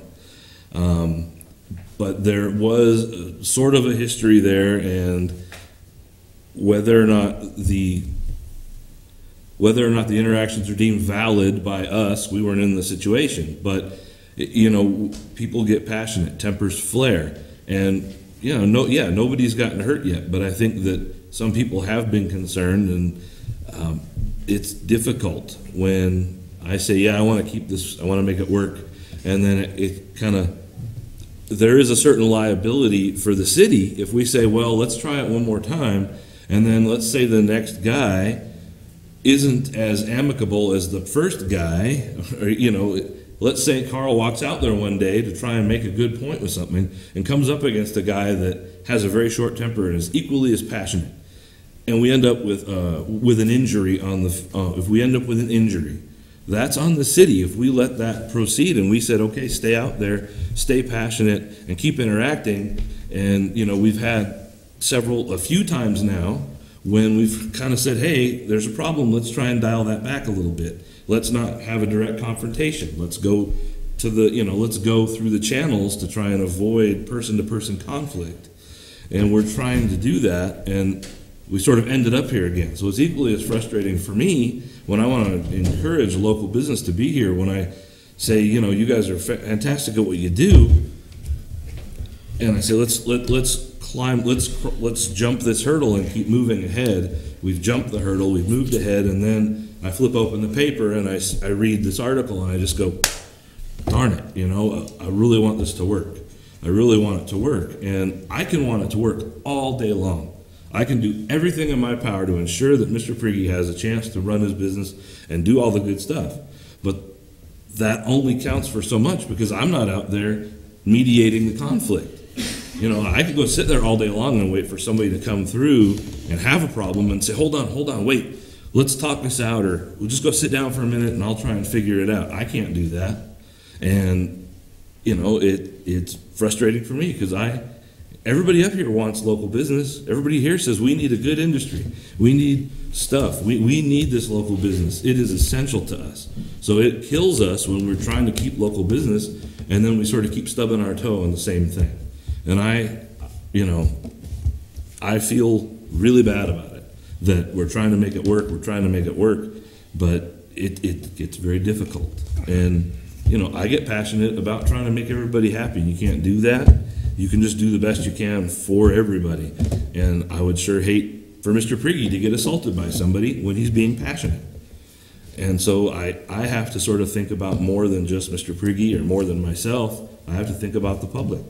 And the public may not know Mr. Prigge as well as we all do. They might not know how he acts, and it's a it's an unknown variable. But this unknown variable has shown itself to be known in different ways. Whether and I can't, I wasn't in the situation. I can't vouch for it.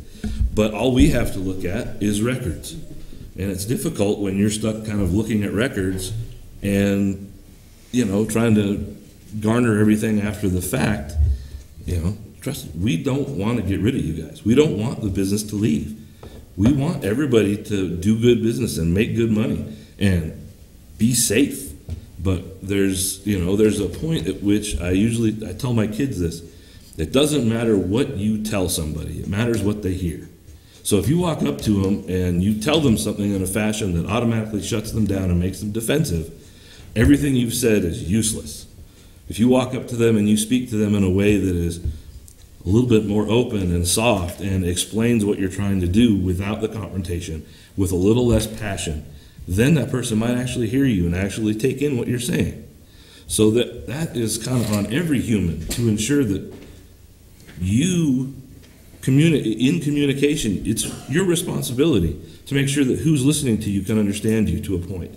They need to listen to you as well, but there's a two-way street. It can't always be my way or the highway, and that can really, you know, that's kind of what we're running into is we're trying to keep things moving forward, and we're sort of running into roadblocks that are saying, no, that's not how it is, um, and it's just frustrating. And I'm, you know, I feel your frustration. I I want this to be good and go forward, but it's very difficult.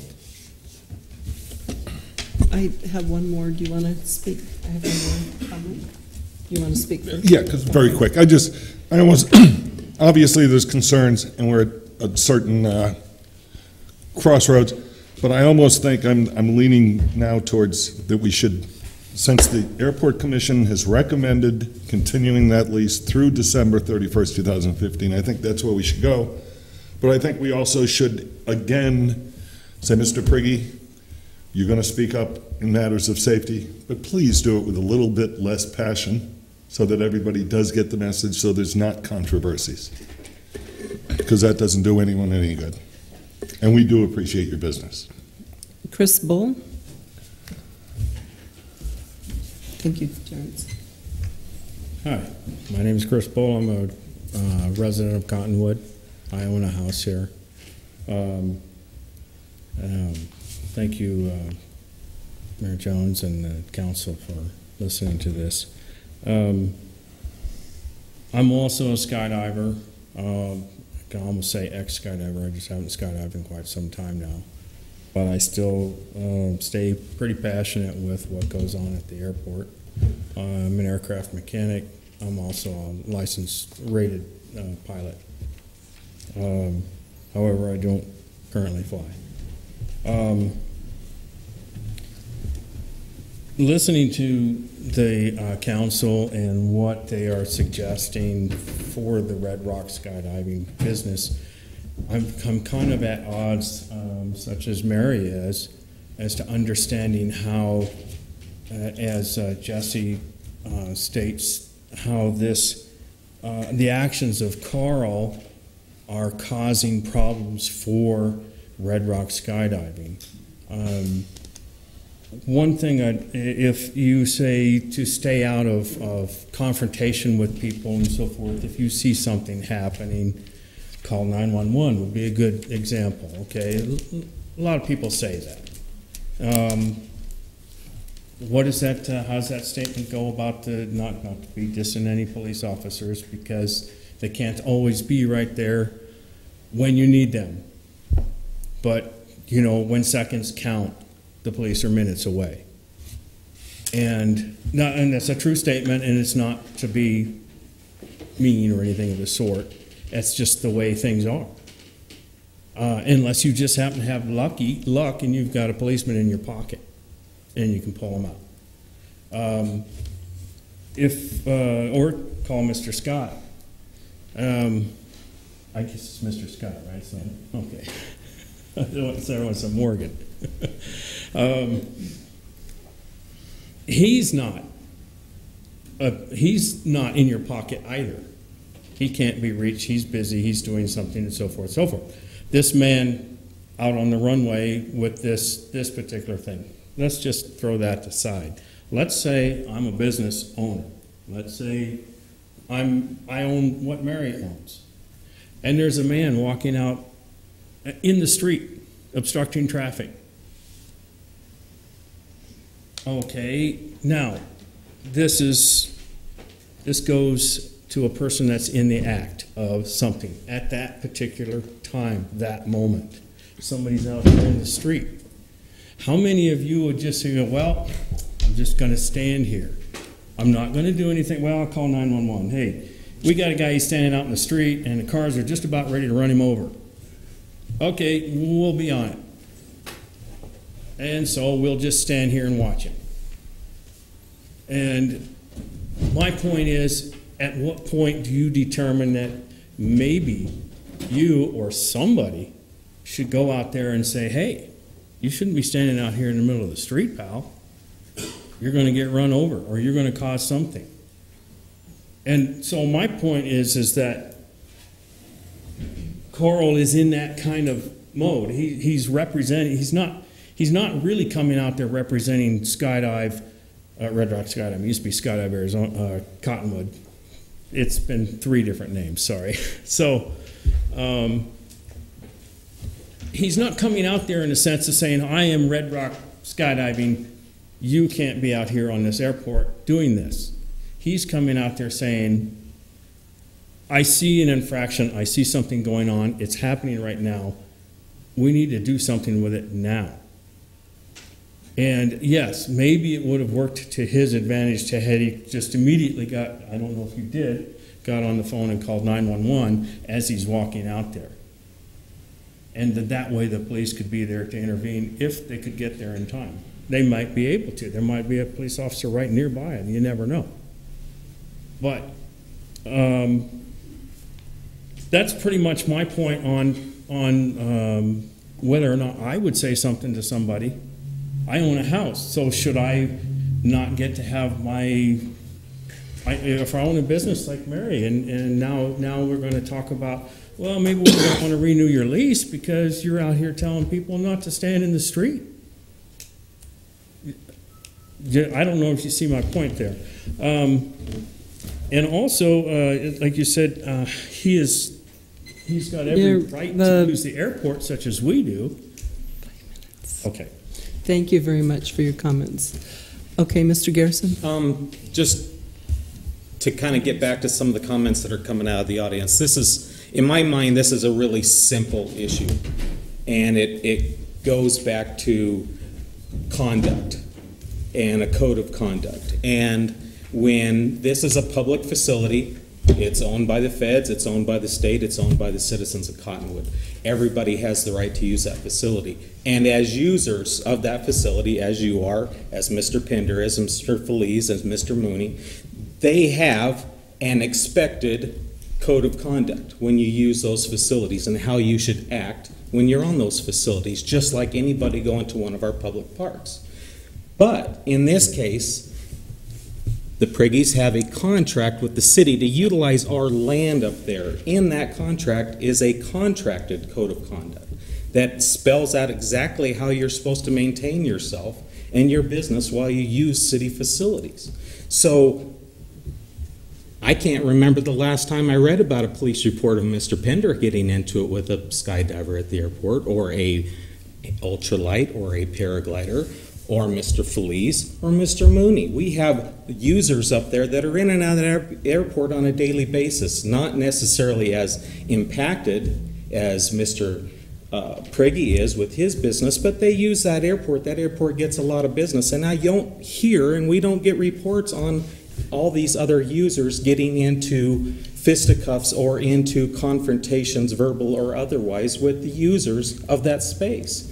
So when we have a contracted person using our property that continues to show a level of decorum that isn't acceptable in our eyes of what we expect a business to be when they use that facilities, we have to question whether we want to continue doing business with that party. He has full use of that airport. He can put his building across the street. He can come down here to Old Town and set up his school. We'd love to have him down here. And he can drive those people up there, put them in a plane, and skydive. We won't affect his business one bit by moving him off that airport, but we will affect the users of our property and how they de- how they behave in, in using our property. So hopefully that answers some of your questions. That, thank you, I appreciate that explanation. Thank you. Thank you very much. Mr. Pratt, you had your hand up. No, I was pretty much going to say what Mr. Garrison said, and he said it for me. Thank you, Randy. Okay, so Ms. Prigge? Just quickly, I would like to address a couple things on this letter, that this is what this is based on. Yes, we had a hang glider incident in 2013, that was two years ago. This last letter that you are, you all are in uproars about, it's one side. I just told you our side. Carl Prigge walked up to him, and this is on camera. Carl Prigge walked up to him, said, You're breaking FARs, took pictures, and turned and left. And how ironic that this man showed up at this time doing this, runs to Morgan Scott. Morgan Scott, somebody tells him to call the police that he's been threatened. No one was threatened. The man has this long list of letters. I, I would be more than happy to sit down with each and every one of you and go over that line by line on what was wrong. He even came to my to the business and talked to me, and I spoke to him. I wasn't standoffish. I was busy. I'm running a business.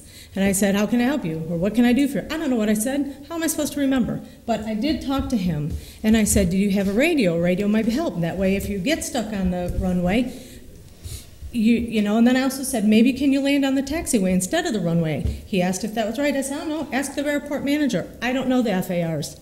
He should. You can talk to him about it.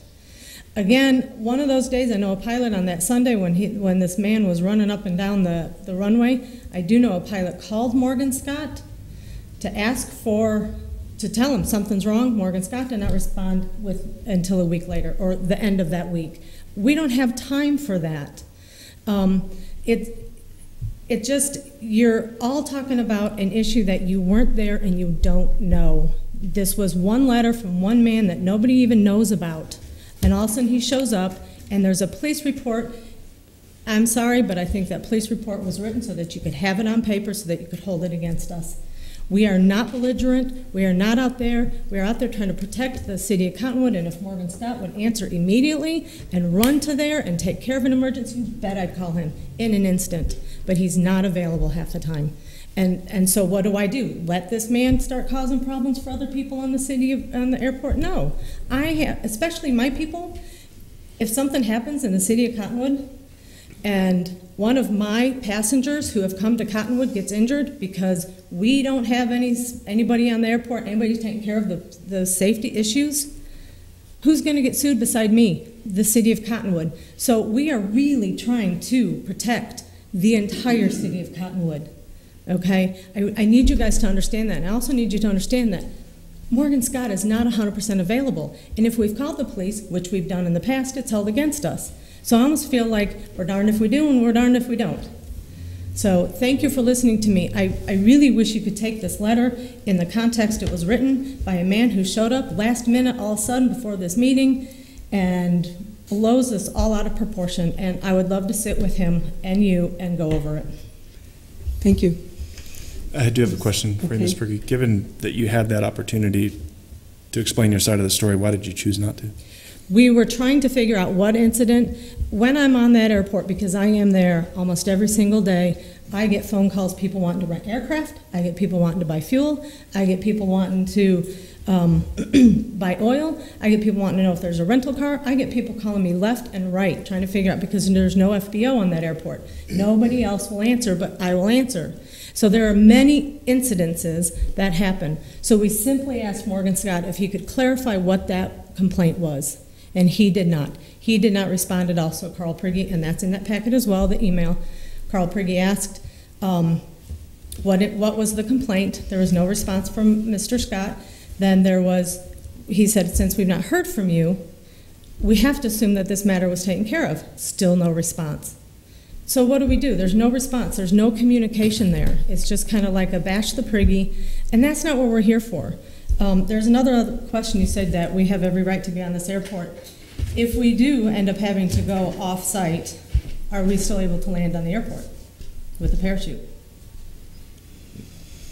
So I just want to, in the information I have in my packet, Mhm. I do have a list here that, that there is an email timeline that had Carl ask what the incident was, and within, uh, not too, f- it was an incident regarding a powered parachute, and then Carl asked what the complaint was, and then if he could have a copy. So they explained what the incident was. I think that the city may not, may have wanted to just get your take on it, minus interpreting, interpreting what the other person said. So I, I, I'm just trying to, I'm just trying to put together what I'm reading with understand what you're telling me. I understand And that. I know I that that emails, too. Funny things, and they go away and they come back, but I, I do see where I think we tried to at least let you know what the incident was and the details. All we knew it was a powered paraglider, and there are, other than that one gentleman, there are other powered paragliders on the airport. So to be that generic is hard for me to just say anything.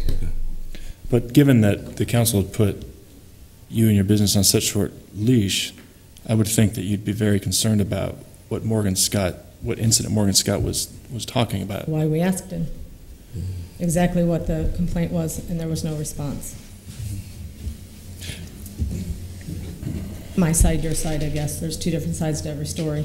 And I, I definitely, the, the gentleman was causing um, safety issues, and uh, we were not the only ones who happened to say anything or see it, but yes, Mr. Prigge went up, said you're breaking FARs, took pictures. We had pictures of him breaking the FARs. And, um, and he turned and walked away. Mm-hmm. Also, Mr. Prigge was not flying that day. Someone else was flying that day. Um, Mr. Prigge could not have, that, he took the picture and there goes our airplane in, in the background. Mm-hmm. I mean, the man had a lot of misinformation there. So I, that letter to me, mm-hmm. you're basing my lease with you on a one-sided letter from a man who appeared out of nowhere. He's never been at that airport before, and all of a sudden he's there causing issues, not only for me, but for other parachute, or for other airplanes. I understand, but how many, how many times does Mr. Prigge go out onto the runway and take photos of people? Well, when this, because of the previous issues with the hang gliders, we have been informed by legal counsel to take all pictures that we can to back up our story. So how many he did it times has, time. has an incident occurred where in recent months, Mr. Prigge has gone out and take, taken This photos? one time. So given that it was only one time, wouldn't you think that that was the incident that Mr. Morgan Scott was referring to? And if you had it on film, wouldn't you think it would be a good idea to present it to the city council or to If- Morgan Scott? If um, he had specified a little more other than the power paraglider, I mean, yeah, I mean, I could sit there and assume which power paraglider, but is that right to assume something? Because from my perspective, it would appear you're just being difficult to work with. Well, I'm sorry that you, that you see that. We just want to make sure that we give accurate information instead of just going around throwing out. Well, accurate information will be on film, right? Right. I guess I don't understand where you're going with this. But you, I Vice ha- Mayor I had had the same up. question. If um, Morgan asked um, for your side of it, and you had gone out and taken photos or pictures, to me, if that were me taking out, uh, going out there taking photos or pictures, that would be the incident, and I would offer that information to the city. So we probably wouldn't even be here tonight if you, you had returned an answer to Morgan on the incident, because otherwise, what do you have, five or six incidents out there? You only had the one that you took the pictures of. That would be the incident that you would send the photos back. So we probably wouldn't even be discussing this tonight. If we had gotten some kind of an answer, it wouldn't have come to the city council. I think that's what um, Mr. Elinski was getting at, too. Yes, Mr. Pratt? Yes, as well, Morgan's email did say, on April 15th, he, he said, you know, um, I had received a complaint about an event at the airport yesterday, which would have then been April 14th. So it makes me wonder if there were more than one incident on April 14th. That Mhm. should have been fairly clear what incident he was writing about, since it only happened the day before. Um, And yeah, we should have received more information, and certainly we're, we're sensitive to your issues, but sometimes where there's smoke, there's fire. There's been a lot of incidents like this that have arisen, and that concerns some of us too.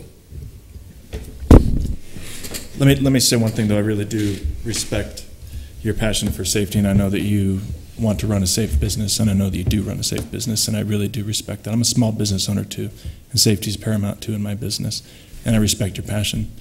But when I see a long list of police reports that contain facts, and when I see that there's personal property damage on the part of Mr. Prigge, it, it concerns me. And like Terrence said, where there's smoke, there's fire. This isn't, I'm, I don't want to pick on a small business. That's the last thing I want to do right now. I want to see you succeed in your business, but I can't represent the citizens of Cottonwood well if I would lease their property, it's the citizens' property, to an operator that, whose behavior, who conducts himself like this. Thank you. Are there any more comments? Or questions? Any more comments from members of the public? So the next step is to uh, make a motion or not. I'll propose a motion. I make a motion to terminate the ground lease with Red Rock Skydiving uh, within 120 days. Second. Uh, Just to, to clarify, the, the, the current status uh, of their tenancy is they, they are month to month because the last lease expired. So I, I think that the direction, if I can translate, is, is you're, you're directing staff in that motion uh, to provide a, a notice to vacate um, in 120 days. And I want to make sure that they're still able, as anybody else is, to use that airport property. We're talking about the ground lease. Right, okay. We're told they can still use the airport. Yeah, during that 120 day. Right, but even afterwards, they're still free to land and operate their business on, yeah, okay. So um, there's been a motion and a second. Any more discussion? All in favor? Aye. Aye. Opposed? Motion carries. Okay, the next item is approval of a Title uh, VI implementation plan for Cottonwood Area Transit. Mr. Morrow?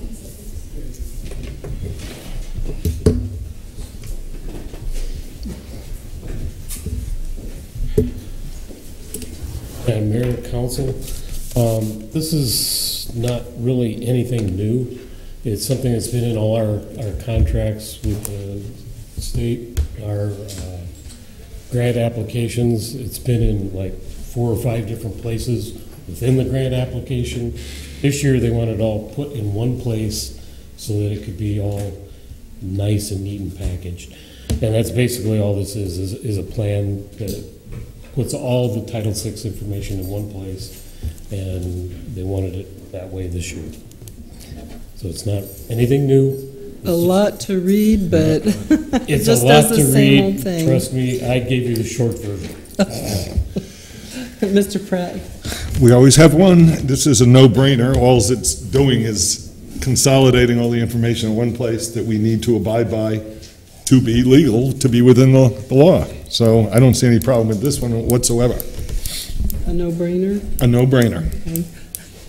And so, any more comments, Mr. Morrow? Not at this point in time unless you have other questions. Uh, Basically, it just tells them that when we put up any kind of new uh, bus stops or any kind of facilities that we're not going to discriminate as to where we put them.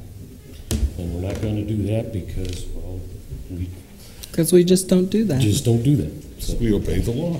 Right. Mr. Pratt, Time for a motion? any comments from members of the public on this item? Please. I move to adopt the Title VI Implementation Plan as presented and direct staff to submit the plan to the Arizona Department of Transportation's Office of Civil Rights. Second. Okay, Mr. Pratt made the motion, the vice mayor seconded it. All in favor? Aye. Aye. Any opposed? Motion carries. Okay, cancellation of the design build solicitation for the Civic Center HVAC project. Mr. Rodriguez. Yes, Mayor Council, we're, we're uh, asking council to allow us to uh, cancel the design build solicitation to 2015 PW04 that was um, issued back in December. Uh, We wanted to bring it to council. Uh, You know, I know that council is, is, would like to get, get something started on that civic center. Um, However, the design build uh, route that we were taking ended up um, costing us uh, nearly $90,000 more. The bids that came in were $90,000 more than we anticipated. We budgeted 160,000, and we were at 100 to $254,000. Um, We had, uh, we had several individuals involved in trying to negotiate that price a little bit further down. We got it down to to 219,000. Our uh, procurement manager, uh, Jeff Cook was involved, I believe Morgan was also involved in those discussions. Uh, and we just couldn't get, uh, get it down below two hundred and nineteen thousand. That was still sixty thousand dollars above where we were anticipated we, we needed to be. Um, what we decided to do before we had this, put this on the agenda, we had a, we had a talk with, uh, Councilmember Elinski, uh, to get his take on it, seeing that he's a builder, and, and, and get his take on, on exactly what we want to do with this project. Uh, we feel that the, the company, I'm, MCOR, and their engineer overbuilt this, this particular program, um, over-engineered it, and we'd much rather go out and get an engineered look and, and design the plans for it, built to the way we want it to do, get our, our, our, uh, our take on what we want done on that building, and then go ahead and bid it out rather than design build uh, setup. So at this point in time, we'd like to ask council to allow us to cancel this and move forward with maybe getting an engineer to do this and engineer it the way we need it engineered, and then go ahead and bid it out, do a hard bid on it. Mr. Could I just Elinski? offer a little bit more? So I met with Mr. Cook and, and Morgan Scott, um, and, uh, others. Houseman, thank you. Yes, Rudy, yeah, by phone. Um, anyway, I, I I think, uh, I, I looked over, um, and Mr. Cook sent me the, all the background information. There was a feasibility study that was conducted. Um, I, I think I would find maybe more fault with the feasibility study and, and their suggestions and how to, um, you know, install the, I think MCOR did, you know, everything that the feasibility study suggested, and that, that may be why the, the cost is so expensive. And I haven't gone through it line by line, um, but, uh, you know, I would like to have another opportunity to sit down at the, at the very beginning and maybe come up with, um, you know, maybe not necessarily another feasibility study, but a different, a different look or maybe a couple different options on how to do the installation over there. Um, it's an older building, and so people tend to, uh, the, the same methodology, methodol, methodology doesn't apply. Um, so I think there's just another way to, to look at it and hopefully get that cost in, in line with what we've budgeted. And, and interestingly, the feasibility study, their, their estimate too was in line with what the city had budgeted for that project. So um, I, I think they over-engineered it and then MCOR maybe bid it to the T is what occurred. Um, no, no fault on MCOR. I think they did a very thorough job, but there's, if we could just take, take a step back and have another look at it, I think we could do better. And mind you, if, I think if we don't, if we don't get this project kicked off this year, we'll go ahead and roll those, those funds over into next fiscal year and try to get it done first part of the fiscal year. Sure will be I wanted nice. to ask you a question, too. First part of the fiscal year is July 1st, so it's right when it's so hot, and it would feel so good to have air conditioning in there. Mr. Pratt? So as a professional and somebody who really is concerned about what goes on with that building as part of our historic preservation, you recommend going with the staff's recommendation on this one? Absolutely would, yeah. That should be a no-brainer then, too. I think we should go period correct, just set blocks of ice with some fans. Buy a lot of ice from her. Right, that's true, that's a good point. Rudy would like that. Any comments from members of the public? If not, I would entertain a motion. I'll jump on that one. Okay, Mr. I move to Dowling. cancel the design build solicitation of number 2015 PW04 for the Civic Center HVAC project and authorize staff to contract with a qualified design professional to design and produce a set of plans for the project. Second. Okay, Mr. Dowling made the motion, the vice mayor seconded it. All in favor? Aye. Any opposed? Motion carries. Thank you. In that motion, d- it isn't necessary to, I'd like to be a part of that. I know it was in the staff report, but there's nothing that the council has to do to. No, no, I think- ensure. I think we'll just, we'll just make it a point to get you involved from the, from the very beginning. Okay, great. Or from the restart, whichever the case may be. Thank you. Okay, item number eight, consideration, discussion, and possible approval of a proposed settlement agreement with the Rival Sons Band. Madam Mayor and Council, um, the um, 2014 Thunder Valley Rally was a successful event, but it was not a perfectly successful event. The, the city engaged a promoter uh, with all the best intentions um, to, among other things, um, contract with and uh, provide for the entertainment. Um, This particular act um, was selected, contracted. uh, I think a first payment was made, um, came and performed as agreed, and uh, a dispute arose with the promoter and and the promoter. uh, And this isn't surmise on our part. The the promoter has said in no uncertain terms, and said it months ago, um, we will not pay you. Um, The the reasons uh, are not either clear or logical um, to, to me and to staff um, for why the promoter is not paying the band. Um, The band has subsequently approached the city um, with a request and a legal theory for why the city should be uh, liable for the balance due. Um, Not particularly um, persuaded by the, by the legal theory, and, and we've, we've discussed this, but litigation is time-consuming, expensive, always uncertain. Um, The band did, and, and I think I'm parroting some of the things the council said previously when it gave staff direction.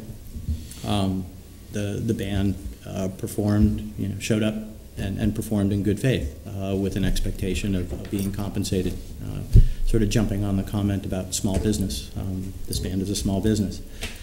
So uh, I was directed to uh, dialogue with the attorneys for the band who had approached the city, um, and this is the product of those discussions.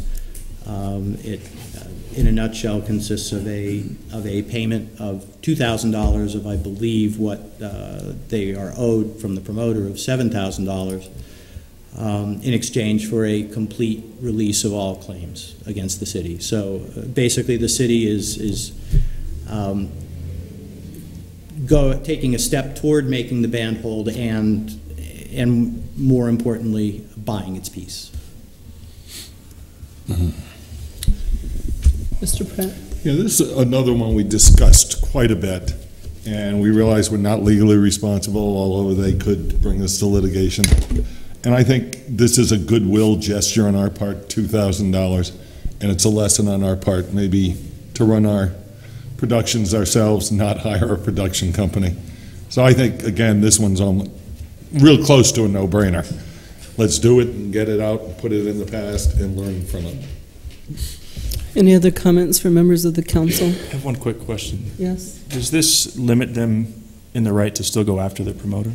Um, Not only does it not, um, but they have, they have given every indication that they, they intend to pursue um, relief from the promoter. Uh, I I would ask and and propose that in the council's motion, um, you authorize me to uh, agree to certain non-material changes. There's been some email exchanges since I forwarded a draft uh, to council for the band.